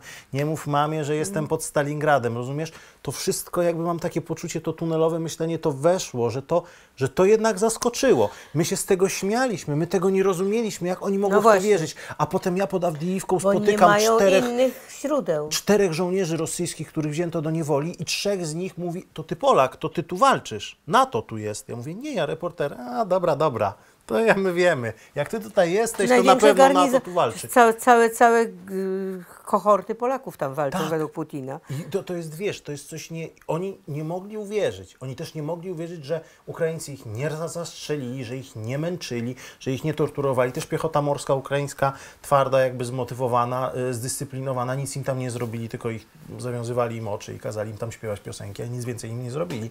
Natomiast po prostu chodzi o... I potem ich szybko oddali, żeby ich wymieniać. Ale dla nich to był jakiś mentalny... Ja miałem poczucie, wiesz, że jak gdybym ja teraz ze Eskimosem się spotkał i próbował z nim rozmawiać, ja bym mówił po polsku, on po eskimosku, to więcej byśmy się zrozumieli niż ja z tymi ludźmi, gdzie mówiłem ja po rosyjsku, oni po rosyjsku i my mogliśmy się jakby, wiesz, po prostu jakby porozumieć. No, mówię, że parę godzin oglądania telewizji. Mało tego, daję Ci słowo, że gdybym oglądała telewizję rosyjską, to po dwóch tygodniach bym uwierzyła, że NATO napadło na, Tak. na Rosję. Naprawdę bym uwierzyła, gdybym. to było uderzenie tylko- wyprzedzające w celu obrony W rosyjskiego. celu obrony i uwierzyłabym, uwierzyłabym we wszystko. To jest propaganda robiona, to jest więcej, to jest kłamstwo. Jest takie powiedzenie chińskie, że prawda obiegnie świat, zanim kłamstwo. Nie, kłamstwo obiegnie świat, zanim prawda buty włoży. No tak. No i właśnie to jest to. No, kłamią w sposób majstersztyk. No tak. Po prostu ostatnio oglądam napad faszystów ukraińskich na Białgorod. Mhm. Nasze y, media w ogóle nic o tym nie mówią. Ukraińcy nic o tym nie mówią. I otóż jak to wygląda? Jest taki wąski kadr, za kadru słyszę jak dziecko woła, ale absolutnie, no słyszę, że to nie jest naturalny głos. Pomóż ci, pomóż ci, na pomoc, na pomoc. Dziecko woła, ja tego dziecka nie widzę. Jest pokazany zburzony dom, ale może być to równie dobrze dom ukraiński. I potem leży jakiś pakunek, który ma być człowiekiem, on leży z daleka. I potem następnego dnia, a to jest pierwszy temat w informacjach, następnego dnia widzę, jak przywożą w tych y, maszynach, no jak to się nazywa, pogotowia, Mhm. Jak pogotowie, jak pogotowie przywozi ludzi rannych tam właśnie w Białgorodzie. Ludzie zawiązani, nie wiem w ogóle, czy tam są ludzie, bo jest to coś zawiązane od ta, pakunki takie, powiedzmy, gdzie nawet palec nie wystaje człowieka. Więc dla mnie jest to absolutnie inscenizacja w porównaniu z tym, co, co widzimy z, z Ukrainy. Inscenizacja, która jest pierwszym tematem informacji. Ukra- faszyści ukraińscy na nas napadają. Jeżeli od już trzeci rok oni słyszą, że e, tylko faszyści ukraińscy e, jest ukrwasz, nazywa się Ukraina ukrfaszysty, Mhm. e, tego, e, no, nazywa się Zeleńskiego. Zeleńskiego ukrführerem, Tak. no to dobrze, jeżeli ja bym tylko to słyszała bez przerwy, od rana do wieczora, to w końcu bym musiała uwierzyć. No bo jak to? No, tylu naszych chłopców już zginęło w imię czego? No No tak. Oczywiście w imię obrony ojczyzny. I ja muszę w to wierzyć, bo ja jestem częścią tej ojczyzny, którą, która się musi bronić. Więc mm, strasznie niewygodne y, dla mentalności człowieka jest przekonanie, że stoi po niewłaściwej stronie, No tak. że nasi żołnierze zabijają. Zabijają dzieci, najprawdopodobniej i tak dalej. Nie. Ja jestem członkiem społeczeństwa, które musi się bronić i jeśli ja mam y, być mm, prawdziwym patriotą, to ja oczywiście pójdę walczyć. No i cześć. A przy tym jeszcze, po raz pierwszy zupełnie inaczej niż w poprzednich wojnach, zostaje im naprawdę wypłacany żołd i zostają Dobre wypłacane te e, odszkodowania, które przedtem w ogóle nie, znaczy były rzadko wypłacane. Specjalnie nie informowano, e, informowano o ludziach zaginionych, że no, zabitych. żeby nie trzeba było wypłacać odszkodowań. Tak było w wojnach czeczeńskich, tak było w Syrii na przykład. Mhm. Po, po, mm, no, w Syrii to tam Wagner głównie Tak. y, rządził. Ale teraz naprawdę są, mm, są takie, y, no, takie, takie informacje. No dobrze, a jeżeli jeszcze dzięki, dzięki, w cudzysłowie, dzięki Prigorzynowi wyciągnięto 70 parę tysięcy więźniów, Tak. i to jakich więźniów? Największych bandytów. Morderców, gwałcicieli, wielokrotnych morderców. No i jeżeli taki y, y, morderca zostaje tam zabity, to żona dostaje, czy tam jego kobita, czy rodzina dostają odszkodowanie. Tak. I oni sobie zaczynają dobrze żyć. Ale najgorszy jest wypadek, kiedy taki przestępca Wróci, przeżyje, co? popada Po pół roku. w niewolę A, ukraińską. no to tak. I wtedy mówi się, ponieważ oddanie się, poddanie się niewoli jest równe śmierci, no to dostaje rodzina wiadomość, że facet zginął. Aż tu on po pół roku wraca. Nie ma ani pieniędzy, bo żona już wzięła, czy tam rodzina już wzięła, ani mieszkania, bo go wyrzucili. No więc takie też są przypadki, ale są inne przypadki, które są o wiele częstsze, że taki bandyta, który miał dożywocie na przykład, Po zostaje odznaczony przez Putina na, w kremlowskich y, tych wielkich złoconych salach. Dostaje order, prawda, jakiś tam za Mhm. walkę. Więc Wejdę Ci w słowo tutaj, przepraszam, Wejdź, wejdź bo mi w słowo, przypomina mi się po prostu historia, która mnie zszokowała. Był reportaż, to jakieś niezależne media rosyjskie. em, dwóch mężczyzn, to chyba byli bracia, przepraszam, jeśli się pomylę, na pewno chodziło o dwóch mężczyzn, zgwałciło i zamordowało dziewczynę. To było kilka lat temu, e, sprawa została wyjaśniona, oni dostali e, dożywocie, z tego co pamiętam. E, I wyobraź sobie, że oni poszli na front, odsłużyli pół roku i wrócili do tej miejscowości. Mieszkają w miejscowości, w którym mieszka matka tej dziewczyny. I telewizja rosyjska niezależna jedzie rozmawiać z tą matką, a ona nie mówi, nie klnie na Putina, nie klnie na władzę, tylko ona niezależna, jak, Tak. to znaczy jakaś meduza Tak, czy coś tak. innego. mówi, a ona mówi, słuchaj, no, że to straszne, że oni tutaj tak sobie żyją. Opowiada o tej, to straszna też historia zabicia tej, tej dziewczyny. Ona tam w straszny sposób została po prostu i zgwałcona, i zamordowana. Potem znaleziono jej ciało. Ale chodzi o to, że wiesz, że ona mówi, że gdyby oni jeszcze zginęli walcząc za naszą rodzinę, za naszą ojczyznę, no to ja bym to zrozumiała, odkupili swoje winy walcząc za naszą ojczyznę. No ale oni powalczyli i wrócili, to jest jakieś, tak czuję taką niesprawiedliwość. Gdyby dalej walczyli, ja bym im umiała wybaczyć. Wiesz, po prostu ja to oglądam i ja się zastanawiam, Boże, po prostu jak to jest? Jak, jak oni mogą być tacy? I Jakby, I ja teraz nie krytykuję, bo jakby nie rozumiem. No, tak cały czas mówię. im mówią, że po prostu napadnięto na Rosję. No, Tylko, że ich i jest ten- 144 miliony, a nas 38. Ukraińców 20, niecałe 30 teraz mieszka na Ukrainie. Oni mają przemysł, mają y, jakby surowce naturalne, handlują z całym południem świata. Europa już nie jest w centrum świata, jakby serio, no jakby może to, to fajnie by było, jakby to do nas dotarło i do naszych polityków, że Europa już jest zaściankiem świata. Świat to jest, proszę Państwa, Pacyfik, Stany Zjednoczone, Chiny, Indie. Indie, Brazylia, i Japonia. Tam I jest gospodarka. jest Putina. I tak, i Rosja handluje. Japonia nie, ale, tak, ale wszystkie ale te z Indiami, państwa, z Brazylią, Brazylia i z Chinami. Ameryka Południowa, Tak, Afryka. dokładnie. Afryka zinfiltrowana przez Chiny i przez Rosję. Czerp, jakby ob, No. Oba kraje czerpią z niej zyski po prostu, wykorzystując te reżimy różne. Wagner tam już znowu działa. No i wiesz... jakby- Wagnerowcy. Tak, Wagnerowcy, bo już Tak. pana Wagnera, Utkina to już dawno nie ma. Chyba w częściach gdzieś tam leży porozrzucany albo już i nie leży. Prawdopodobnie. No, w każdym razie yy, wcale się z tego nie śmieję. Mm, dobra, przepraszam za ten, za, to, za, to, za ten czarny humor, ale jakoś jemu nie umiem współ, współczuć. Niemniej Skąd? e, chodzi mi po prostu o to, że to, ja naprawdę mam takie poczucie, że my zmierzamy w jakimś złym kierunku, wiesz, po prostu w No tej i wojnie. bardzo słusznie. I tu nie chodzi tylko o Ukrainę, tylko o to, że po prostu mam takie, jak oglądam takie rzeczy jak te matki, jak oglądam później Pentagon, ten serial jakby rosyjski, świetny na, na YouTubie, polecam Państwu po raz któryś. Pentagon, czyli dom, w którym w pod Saratowem, gdzie nie ma kanalizacji, nie ma wody, taki wiesz, dom socjalny i ludzie żyją i nic nie są w stanie jakby zrobić. Dziennikarze ich pytają, dlaczego nie pójdziecie, nie powiecie, mm, żeby coś zmienić, a oni mówią, nie, bo może być jeszcze gorzej.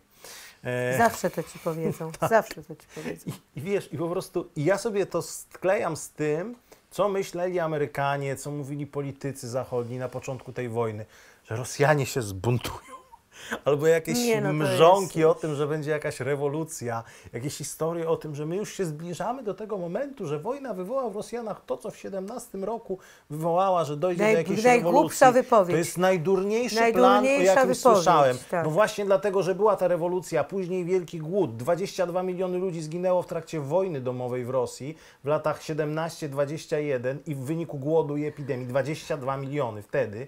Potem był, był, była wielka czystka, Stalin Stalin i to wszystko, to oni już nigdy żadnej rewolucji nie zrobią. Ja powtarzam, że gdybym oglądała przez trzy dni tylko no tak. tę telewizję i nie żyła w Polsce, to ja bym uwierzyła w to wszystko, co oni mówią.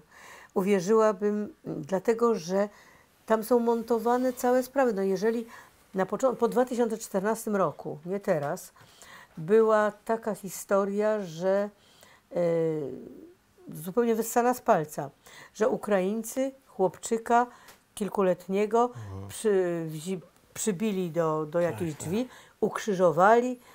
Jakieś takie potworne historie i ludzie masowo zaczęli tam iść na ten, walczyć za Donieck i tak dalej, i, i Krym. Więc potem się okazało, że to jest zupełnie nieprawdopodobna historia, ale jeżeli w tej chwili, w takiej telewizji, ja takiej historii mam 100 dziennie, jeżeli bezustannie słyszę, jak potworni są ci Ukraińcy i jaką... Ten Zachód, Polacy. I, i z, Zachód nagle się dowiaduje o Polakach właśnie, że my tam walczymy cały czas i że najwięcej jest walczących Polaków. Potem Amerykanów, potem już nie pamiętam kogo, ale to Słuchajcie, wszystkie, wszystkie rzeczy to zaczyna mnie ogarniać przerażenie, bo po pierwsze, ja bym w to uwierzyła, na pewno, ponieważ jest to tak nieustannie w różnych, w różnych aspektach pokazywane. Cały czas w aspektach strasznego zachodu. Tak. Y, to raz. Y, jeżeli bym y, na przykład mając w rodzinie, a każdy tam ma, kogoś, kto poległ wielkiej ojczyźnianej, mhm. słyszała, że w tej chwili walczymy z takim samym Samym faszyzmem, że przedtem napadł na nas Hitler, a teraz napadł na nas ten, no, Biden, Zeleński. Zeleński, Zeleński. razem. Zeleński. I że wszyscy tam na zachodzie to są faszyści. Że jest totalitarny Zachód przeciwko, totalny Zachód przeciwko nam, dlatego że my, nasze dzieło prawo je. Hmm. Nasza sprawa jest, nasza sprawa yy, słuszna, słuszna, słuszna, o właśnie, słuszna. Nasza sprawa jest słuszna. I to jest, ale to jest hasło z II wojny. I tak. jeżeli u tych wszystkich ludzi te reminiscencje w końcu sprzed kilkudziesięciu lat, to są raptem dwa, trzy pokolenia, wyciąga się za uszy, a zostały wcześniej przez Putina, nie przez przypadek, w poprzednich latach, jeszcze przedwojennych, od, y, bardzo, bardzo windowane. tak. Jeżeli Putin kazał wyrzucić natychmiast wspaniałe dwa podręczniki historii, które powstały za Jelcyna, wspaniałe, które pokazują historię II wojny taką, jaką naprawdę była, natychmiast to powiedział Putin, że to jest szeucha, że to, jest, y, że to są śmieci, y, te, te, te podręczniki. Kazał stworzyć nowe, prawda, no, gdzie patriotyzm jest, w ogóle jak słyszę patriotyzm, to ciarki mi chodzą po grzbiecie bo, bo patriotyzm w wydaniu rosyjskim to jest po prostu stałe walki imperialne, mhm. stała walka, stała wojna to jest i on przecież przygotowywał od lat Rosję do wojny. To nie jest, że on sobie ją nagle tak. wymyślił. Przecież powstawały szkoły kadetów. Mhm. Dzieci, dzieci pięcioletnie uczono y, walk. Przecież przepraszam, że się na to powołuję, ale w tej książce Wowa Wołodia Władimir są zdjęcia y, dzieci kilkuletnich z, y, tak. z, z, karabinami. Y, kiedy mm, w szkołach, w tych właśnie szkołach kadetów, uczy, gdzie wszędzie wiszą portrety Putina, uczy się właśnie tego, tej nienawiści do całego świata przede wszystkim. Mhm. Nasza sprawa jest słuszna i to jest, i, i Putin, Putin chciał wojny, Putin dążył do wojny. I y, on mówi, że dlatego, że, że Zachód pomiatał Rosją, pogardzał, tak. pogardzał Rosją. No, oczywiście jest to nieprawda, dlatego że już sto razy mówiłam, jak Zachód zabiegał o, o, mhm. o Putina z królową angielską, Chiraciem i całą resztą. Tak, z Tonym jak, Blairem i tak dalej. No właśnie. I jak y, przepuszczał przez, w ogóle zamykał oczy na y, tysiące zamordowanych w Czeczeni, na wojnę w Gruzji, na Syrię, nawet na Syrię, jak Obama chcąc mieć święty spokój robił reset w 2009 tak. roku z Rosją. No ludzie, mówienie o tym, że y, Zachód lekceważył Putina jest po prostu nieprawdą, totalnym kłamstwem, które zostaje cały czas w, wmontowywane w te biedne rosyjskie, rosyjskie mózgi, które tak. w ogóle nie mają innej strawy. Od 24 lat to im sączą do mózgu non-stop w tej ich propagandzie za olbrzymie pieniądze, za po prostu obsypywani złotem propagandyści, to zresztą Którzy mają wille ogromne tak, w tym. Natomiast i jeszcze tylko Ci powiem a propos tego, że po prostu coś mnie zawsze jakoś tak rusza, jak o tym wszystkim myślę, właśnie o tym, że on tak był przyjmowany na tych salonach, że on był tak hołubiony, że oni tak o niego zabiegali, że to robili wszyscy, że cały świat na Zachodzie liczył, że jednak to, ta Rosja to już taka będzie, że po Jelcynie, Jelcyn słaby, ale prozachodni, że to już nigdy nie będzie tego Związku Sowieckiego, że to znów była taka kreacja, że my sobie to, że znowu sobie świat zachodni to wyobraził, że tak będzie, że chciał, żeby tak było i tak patrzę na tą wojnę i widzę, że jest to samo, że my chcieliśmy, żeby ta Rosja była słaba i jak ona nam dała jakiś argument, że sobie nie radzi z tą Ukrainą, Ukrainą, że pod Kijowem klęska, to my w to tak uwierzyliśmy, bo tak bardzo chcieliśmy w to wierzyć, a teraz patrzymy na tą Awdijiwkę, 70 tysięcy ludzi atakuje, yy, po prostu jest tam rotacja. Zebrali tyle ludzi, żeby te tysiące ginęły, ale dalej można było robić rotację, cały czas można było atakować. I się po prostu zastanawiam, co, do, do czego to, mówię, do czego to wszystko zmierza, jakby... Wracając do, do, do Zachodu i Putina, i przepraszam, Zachodu i Rosji, to przecież Clinton, można powiedzieć, że prawie przyjaźnił się z Jelcynem. Mhm. Bardzo się panowie lubili. Clinton załatwiał dla Rosji e, jedną po drugiej transzę Międzynarodowego Funduszu Walutowego, ale nie sprawdzał, co się z nimi dzieje. No tak. Kontrola nad pieniędzmi była żadna, w związku z czym ten Zachód wyobrażał sobie strukturę wewnętrzną Rosji na podobieństwo swojej zachodniej. Tak.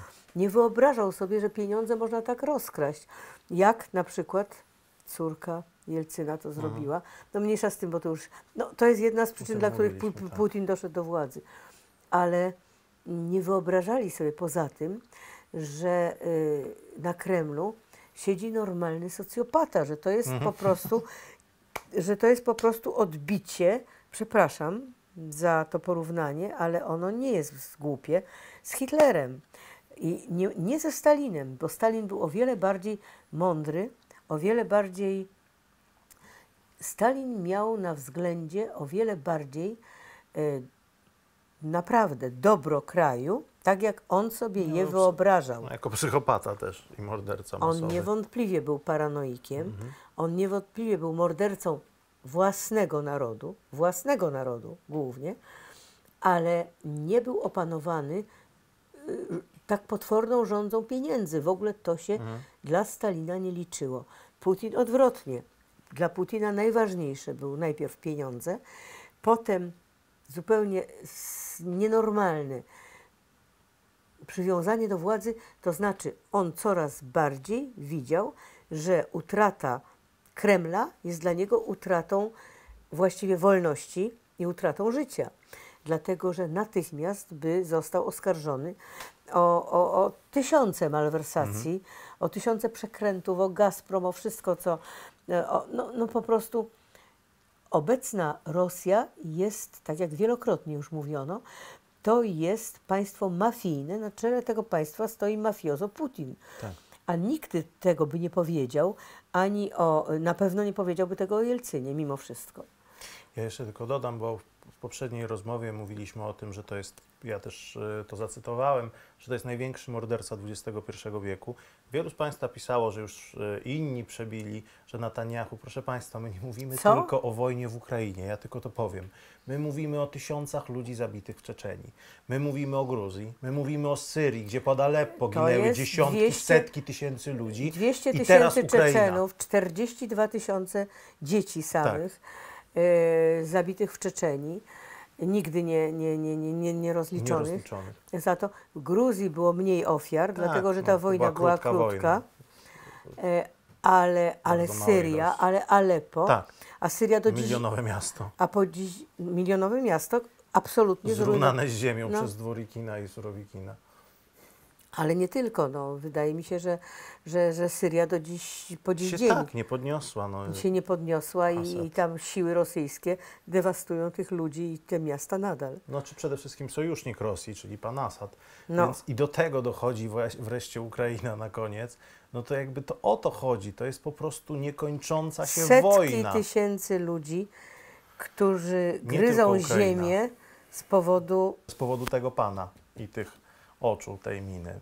I to jest, to jest coś strasznego. Ja nie mam, wiesz, już na koniec, ja nie mam dobrych wniosków jakby dla nas. Też ja czuję, że, że ty też nie masz, bo też wiele rozmawiamy, nie tylko na tych nagraniach, tylko między sobą, że po tych dwóch latach trudno patrzeć pozytywnie. Znaczy ja mam nadzieję, że ten świat się obudzi, że ten zachodni świat poczuje, że to jest zagrożenie nie tylko dla Ukrainy, jakby to zagrożenie dla jakiegoś porządku Ale- naszego świata właśnie. Ale czy zdąży? No właśnie. Ale czy zdąży? Jeżeli Europa, przecież od dawna, ja nie jestem politologiem i nie potrafię powiedzieć, kto i kiedy pierwszy powiedział o tym, że Unia Europejska powinna się zbroić. I to, ale wiem, że to było dobrych parę lat temu i dawno, gdyby Unia Europejska się uzbroiła, to by zupełnie inaczej wyglądała dzisiaj nasza sytuacja wobec y, Putina. Ja naprawdę mówiłam uparcie, że to jest bzdura, że Putin nie napadnie, że i nagle sobie pomyślałam zaraz, ale przecież kiedy już 100 tysięcy wojska rosyjskiego stało u granic Ukrainy, ja też mówiłam, że Putin nie napadnie. Po prostu są rzeczy, które mi się w głowie nie mieściły. Nie tylko ja, bardzo Tak. wielu ludzi, dużo mądrzejszych w tych sprawach ode mnie, y, twierdziło, że jest to niemożliwe. Otóż w tej chorej głowie, absolutnie chorej głowie, opanowanej rządzą władzy i strachem potwornym i nienawiścią, rodzą się sprawy, które nas przerosły po prostu i które nie pozwalają nam na optymizm. Tak. I jeszcze tylko powiem jedną rzecz, że też zastanawiałem się, już w pewnym momencie wiedziałem, że już będzie, no bo to już wyglądało tak, że, że to nie jest bez powodu. Natomiast też do pewnego momentu nie wierzyłem, że ktoś może w Europie w XXI wieku robić taką wojnę na pełną skalę. I kiedy myślę teraz o tym, że Rosja miałaby napadać na NATO, na kraje bałtyckie, może nawet na Polskę, to też myślę, że to jest niemożliwe, że to jest nierealne, że nie wierzę Wiesz w to. co? I, I wtedy myślę sobie, Boże, wtedy też nie wierzyłem. Jakby, jeżeli ktoś jest tak niestabilny psychicznie, jeżeli ktoś jest tak nieprzewidywalny, to on może zrobić naprawdę wszystko. Napisałam w 2000, nie pierwszy raz o tym mówię, ale y, przepraszam, to jest naprawdę ważne. To był rok 2002, kiedy odwiedzał nas Władimir Putin. E, no, także na zaproszenie naszego prezydenta, który zapewne robił to w najlepszej międzynarodowej, e, e, międzynarodowej woli. I napisałam wtedy na mm, prośbę Rzeczpospolitej artykuł o tym, o, o przemianach, które są od 2000 roku do 2002 w Rosji. Napisałam o tej dewastacji demokracji, która już tam nastąpiła i użyłam tam takich słów Siergieja Kowaliowa, z którym bardzo często rozmawiałam, najwybitniejszego mm, wtedy i ówczesnego właściwie obrońcy, naj, najbardziej znanego na Zachodzie obrońcy praw człowieka, że Putin to faszysta. I zaczynam udowadniać, y, y, że Putin dewastuje zupełnie demokrację, jak walczy z partii, z part, walczy o to, żeby nie powstawały partie nowe, jak walczy z wolnością słowa, jak zdewastował y, telewizję, to znaczy w ogóle y, niemal natychmiast po wejściu na tron, to y, zlikwidował telewizję NTV i jak sadza ludzi do więzień. I Rzeczpospolita tego nie drukuje. Ja to proponuję Gazecie Wyborczej i Gazeta Wyborcza się godzi, ale artykuł y, ukazuje się po y, wyjeździe Putina oczywiście i z artykułem innym kolegi, z korespondenta, który usiłuje powiedzieć, że ja się mylę, ale nie wychodzi mu to, bo to jednak rzetelny dziennikarz. Ale o co mi chodzi i dlaczego teraz do tego wracam? Otóż na samym końcu tego artykułu jest moja rozmowa z ludźmi z FSB, którzy wychodząc z zebrania, bardzo tacy rozochoceni, mówią, że Putin prowadzi wojnę z całym światem. Putin stoi teraz na czele tej wojny. To jest 2002 rok.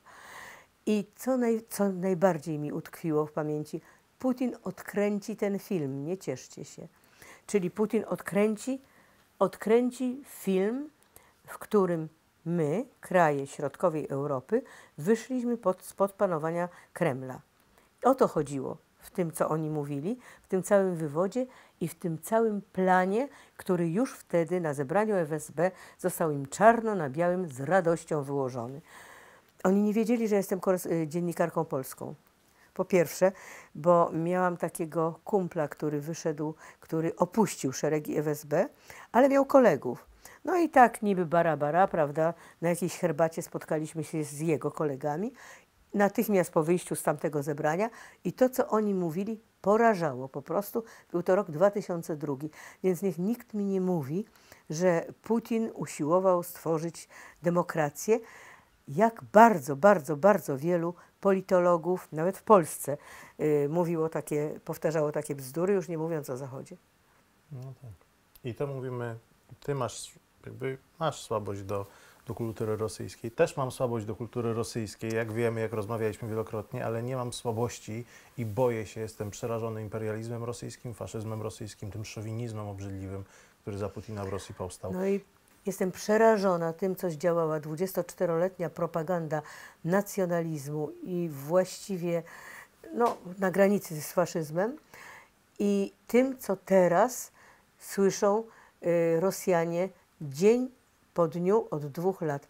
Jest to przerażające i jest to po prostu kontynuacja i apogeum tego, do czego Putin doszedł i do czego pozwoliliśmy dojść Putinowi.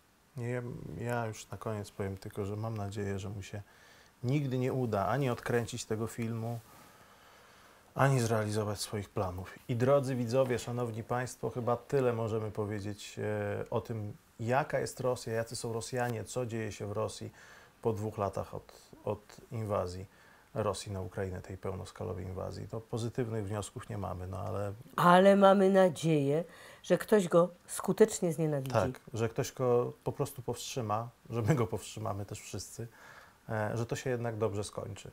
No, ktoś musi ostrzegać, więc, więc ostrzegamy. Krysiu, dziękuję Ci jak zwykle. Niski pokłon, jak to mówią Ukraińcy, za tę rozmowę.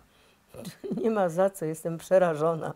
dziękuję Państwu bardzo. Jeszcze raz dziękuję za okazaną mi y, dobroć i współczucie. Dziękuję Państwu, że obejrzeliście tę rozmowę. Jeśli podobała się Państwu ta rozmowa, proszę o zostawienie komentarza, zalajkowanie i zasubskrybowanie mojego kanału. A jeśli chcą Państwo wesprzeć działalność mojego kanału na YouTube, można to zrobić z pomocą portalu patronite.pl. Link znajdziecie Państwo pod tym filmem. Dziękuję bardzo za obejrzenie tego nagrania.